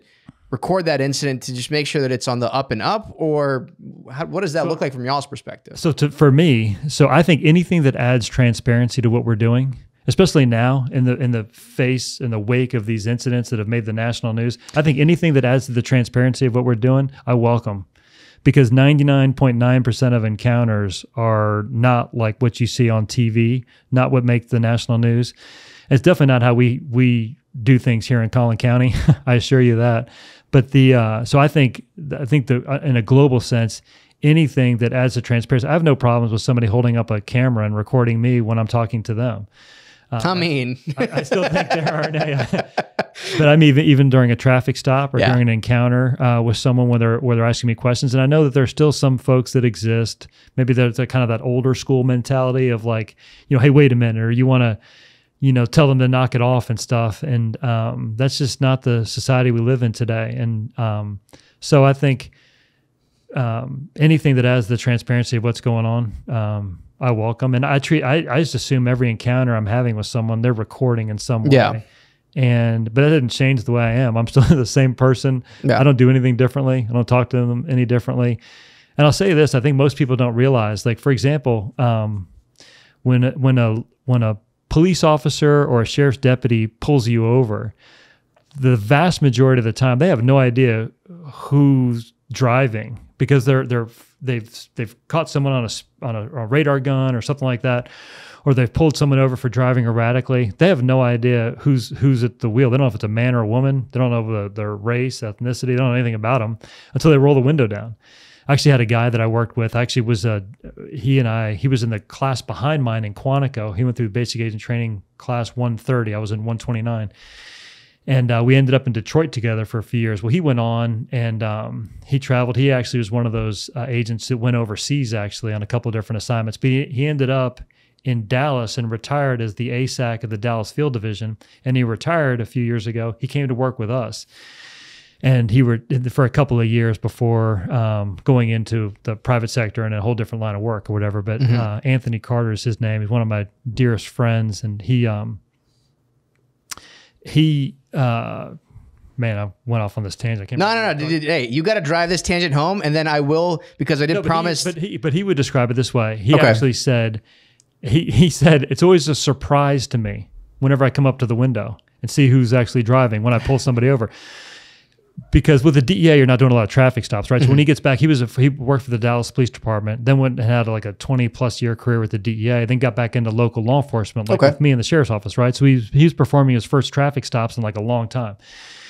And he said, "Man, it's like it's a surprise to me. Like when I walk up to the window and see who it is, I, that struck that stuck with me because I'm thinking, yeah, it's always a surprise to me too. But so that's why, you know, um, but aren't you able to see a photo of like who owns the the car or even like if you get if you get a certain name like there are certain biases in place where if you, you see a name or um, a photo or look, something. if you looked up their license plate or something beforehand but most traffic stops you don't. You're pulling the person over. You have no idea who it is and stuff. And so a lot of times like when someone says well you only pulled me over because i'm this or because i'm that and i'll say like i, I had no idea who i was pulling over. I, you know i pulled you over because i was pacing you and you're driving 30 miles over the speed limit or something. But by that point i've already said i've i've I've told them who I am and why I pulled them over, and I've asked if they're okay because there are occasions when someone's experiencing some type of a medical event or something yeah. like that, and in those cases, like, you know, I want to get back in the car and escort them to wherever they're going and get them to where they need to be as quickly as possible. But I just say that to say that that, but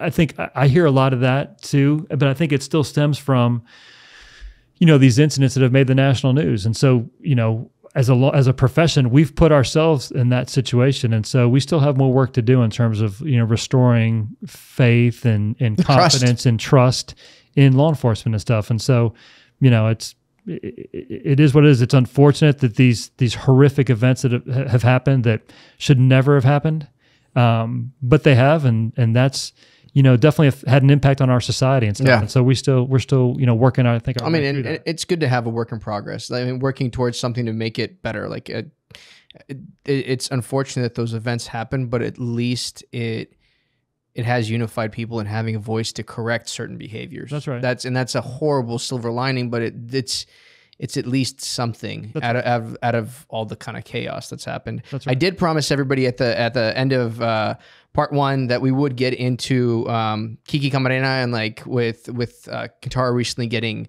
arrested. So I am just curious, was that a part of those classes or any of that stuff? Because that happened in '85 and you guys were in there in '97. So Yeah. So to back up a little bit, I, I, did notice how you promised that at the end of the last episode, and as I told you when we went off air, I was thinking, man, I don't, I don't know if I have that much to say about this. like you've committed to this great thing, and I don't know if I'm going to be able to produce. But the uh, we did. So we learned about obviously uh, uh Kiki Camarena situation made the national news, right? So even before I went to work for the DEA, I knew of that story, like every average person does.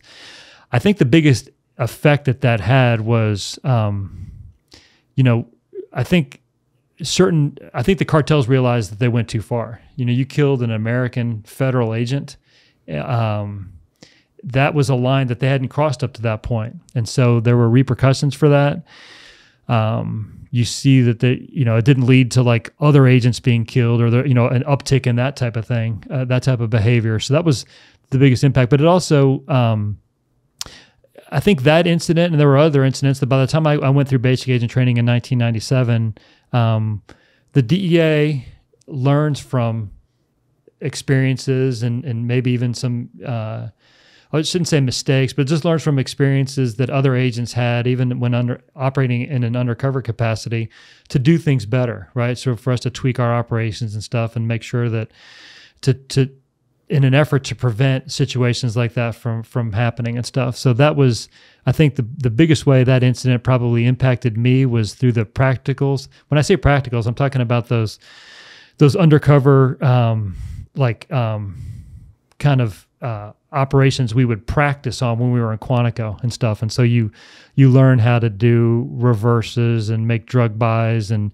take down groups and all this kind of stuff. And then a lot of agents when you get out of there they're like okay forget everything you learned in quantico. Now we're going to tell you how it really goes down. You know, yeah, yeah, yeah, this is how it really works. They taught you the technical we're going to teach you like how, what's actually effective. Right and so you but you learn and, and and those agents that came along before me learned from those experiences and stuff because at the end of the day whether you work in federal law enforcement or local law enforcement the biggest thing is you know we want to we want everyone wants to go home right? It's kind of like yeah. we were talking about before. Like the last thing you want to do, last thing any law enforcement person wants to do when they come to work is use excessive force, is pull their gun and actually have to shoot somebody. Nobody's thinking that when they go to work. I right? literally told David that. So me, me and David, we had breakfast. Uh, uh, I think on Sunday, and uh, I was I was talking about just like all these like recent shootings and everything that's David, been going. David Crossland. Yeah. So you had breakfast with David. I get for over like an hour, almost two hours. We sat right, down but together. I get water with no ice, and then I get water with ice. But you guys had breakfast. But go ahead. I'm just. this is this is to... this is the most passive aggressive I've ever seen a cop in my life.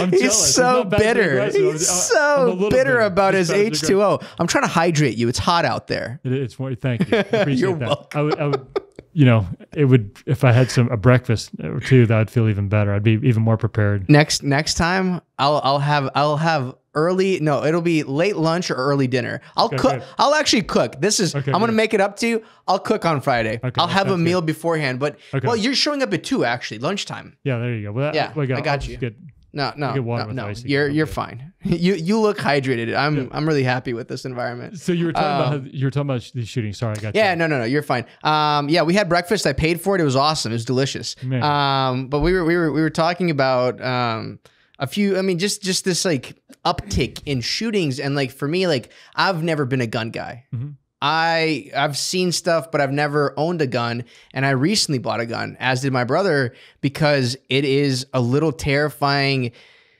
being in a situation where you're helpless especially right. for someone that's not used to that um, and I was like, okay, I need to get trained in this. I need to actually have one on me because this seems to be a thing that's happening way more frequently right. than it ever did in my childhood. Right. And so um, I don't want to be in that position. Right. But like as we saw last week, that guy that was like shooting up the mall, That's it right. wasn't cops that put that guy down. That's right. It was citizens. That's right. And that seems to be something that might be might be a pattern for somebody, might That's be right. a pattern for me, might be a pattern for someone I know. That's right. And that sucks to be in that position. Right. I don't want to do that. And I assume other people don't either. Like you might right. be trained in, you know, doing all these things, but I don't think anybody wants to have somebody else in their fucking conscience. That's right. Well, so I think part of what I've had different citizens tell me is when they've gone through a similar experience and they've gone out and purchased a gun for the first time and they're they're adults right? And then part of the part of what motivated them is the fact that they feel like everyone out there has a gun, uh, including all, you know a lot of bad And we're in. Texas. Let's be honest. Well, there's a there's that aspect of things too. But they think there's so many guns out there that I don't I don't want to get involved in a situation where the bad guy's a gun and I or there's a situation that that that I could have taken a proactive action in, but I wasn't properly equipped and stuff. And so they get these guns.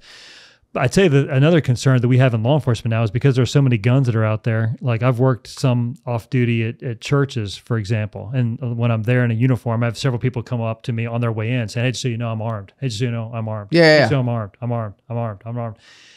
And I'm thinking, my gosh, if a bad guy stands up in here, like not only am I going to address, but I'm also thinking like there's going to there could potentially be some crossfire situations and stuff. And so, typically, what we do in those scenario in those situations, we try to talk to folks and explain where we are and who we are. That's why we're we're always clearly marked, you know, Mhm. and stuff and stuff. So, um, but no, I, I get it, I, and I think it's good. I think the only thing I encourage people to do because they'll ask me like, "What type of class should I take?" I've got a, I bought a gun and stuff like that.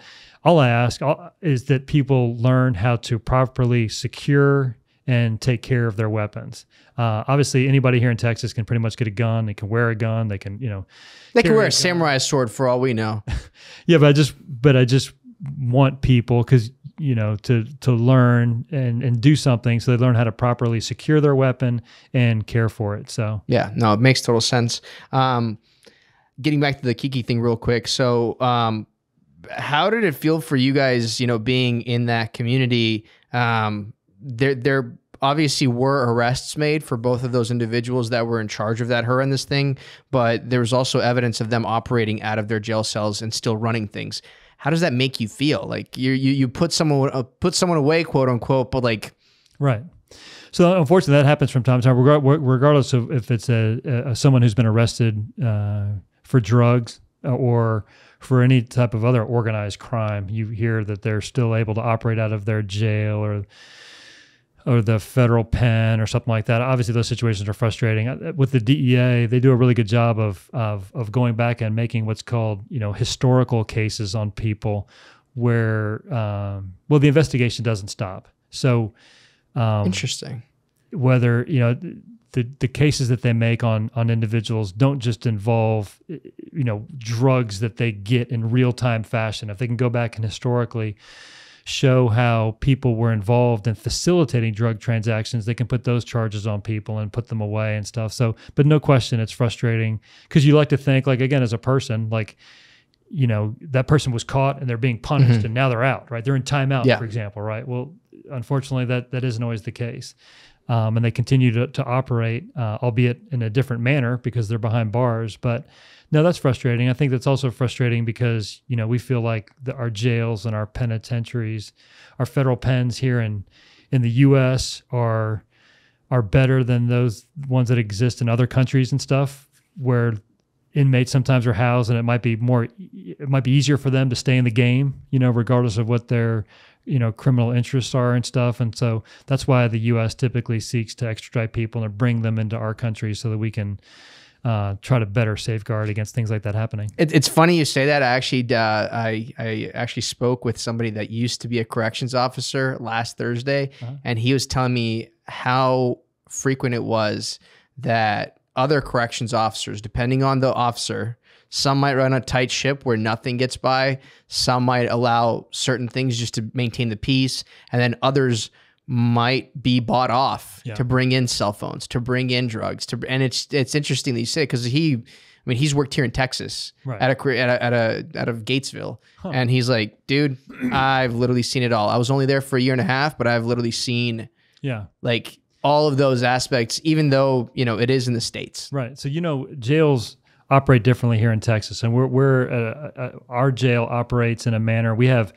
Our detention officers are in the pods themselves, right? A lot Oh, of jails actually don't have detention officers in the pods, right?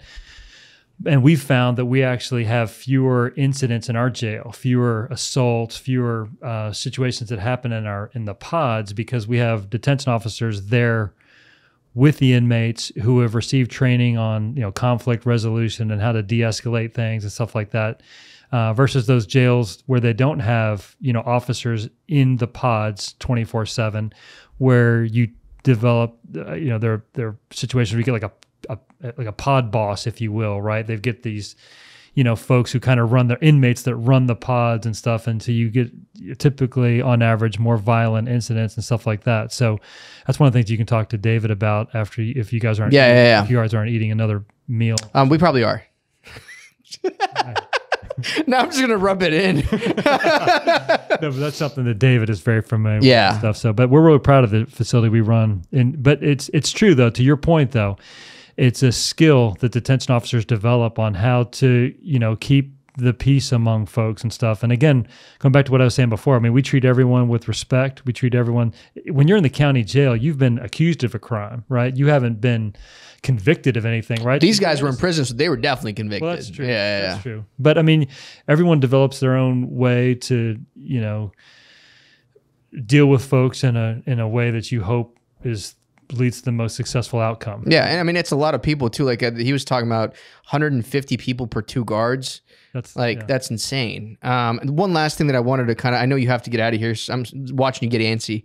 Um, uh, so you'd mentioned earlier the the 7-Eleven that you and Mike, your previous partner, That's right. had kind of talked about that um, possibility or just even joked about it. Um, but is legalization and regulation uh, a possible solution? And then, I mean, do you think that would be effective? So we've seen obviously the movement in this country is to legalize marijuana, right? Um, and you see even some uh, cities in Texas have already gone to simply like citing people and stuff.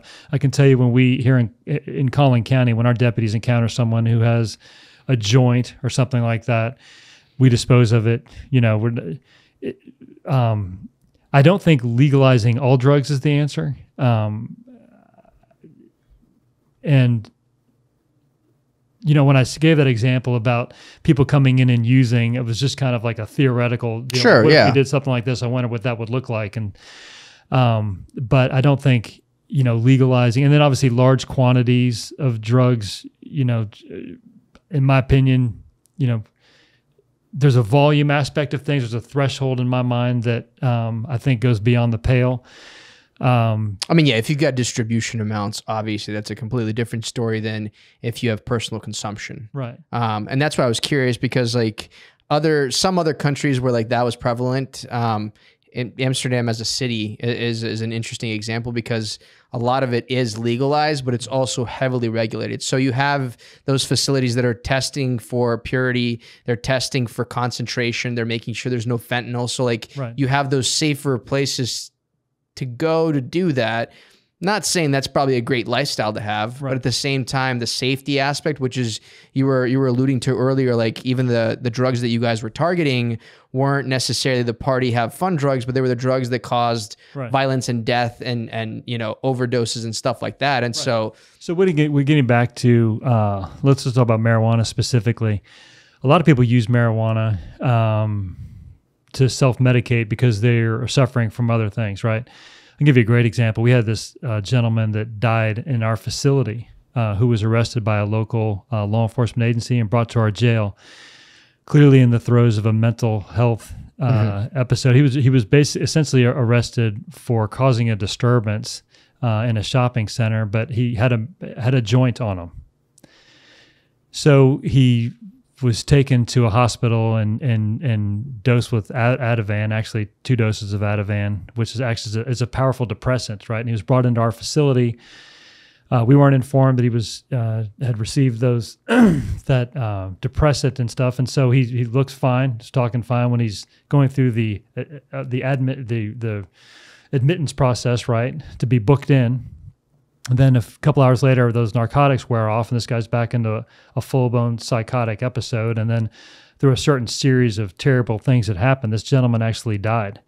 Uh, in my opinion, he never should have been brought to the Collin County Jail. This person was basically arrested for having a joint, right, and, and creating a disturbance.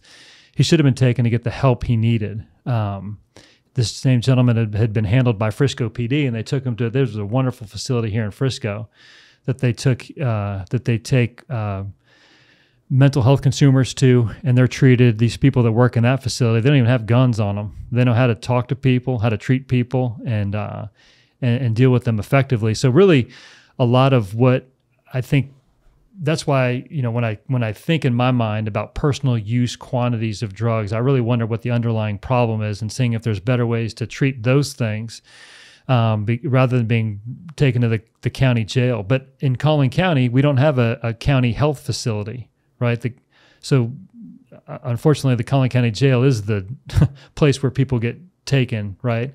And so we're working with our commissioner's court and our county judge on a on a countywide diversion program, and there are people uh, at these different organizations that share our, our, our same belief, and we're in the process of actually getting a true diversion program here in Collin County to more effectively treat these folks uh, and get them the treatment that they need. Uh, well, you guys are so your, your detention officers aren't trained in that, and having people like having an actual budget for a facility for folks that are trained to handle those situations makes a lot more sense. That's right. Our folks do receive training on how to deal with like mental health consumers and people that are in the throes of a of an episode this, the circumstances that led this particular gentleman to pass away has been well documented. We had some people that committed some policy violations who lost their jobs, and um, and it was just a series of unfortunate events. Uh, but uh, we routinely have people. Our infirmary is full constantly. Our infirmary isn't big enough to treat all the mental health consumers. Like we have, on average, about a thousand people in our jail, and I think it's 46% of them are mental health consumers, Jeez. right? So you have people that are in pods with other folks that uh, um, that are mixed in, right? And so part of the jail expansion that we're undergoing now, you were at our facility the other day, and you saw that construction that was going on. They're yeah, yeah. our jail, and they're going to build a bigger infirmary, and we're going to have areas where we can treat better treat people and house people that need to be separated, mainly, you know, from other. Uh, regular inmates, if you will. Yeah. That makes total sense. Um, I, I appreciate you stopping in. Um, I, I, know your schedule's a little tight these days, which is why you're the first guest I think we'll have on that's like at a two o'clock time. Um, so I've never had that, so that'll I be appreciate interesting. That. Yeah. I didn't get a meal, I appreciate that. oh man, um, he will forever keep this going. Oh. I, I, believe that I will never ever forget about the fact that he didn't get a meal and Dave did. um, thank you guys for tuning in. Um, it's Hey Bob Podcast on Instagram, TikTok, and YouTube. Um, if if you're listening to us, um, it is interesting listening at 1.25 speed. If you guys are a little bit tight on time, um, any any particular website or um, I don't know, account that you'd want to plug in regards to like the Collin County Sheriff's Department or anything like that? No, we've got, we actually have uh, openings. I, have talked to you about this offline. We actually, I think on the last episode, I talked about how we actually have fewer vacancies than, than most law enforcement agencies uh, have because Collin County is a very desirable place to work. Our salaries are very competitive, our benefits packages are very competitive.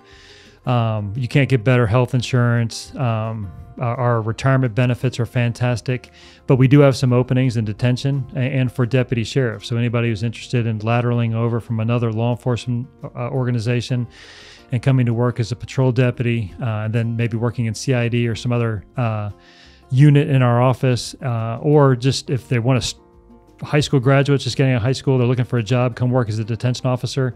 If you want to see if the law enforcement field is something for you, uh, we we have openings and and come check out the Collin County website and uh, we'll we'll get you plugged in. Cool. Well, Matt, thank you so much for stopping. Appreciate in, you, brother. Always. All right, y'all. Thank you so much, and we'll see you in the next one.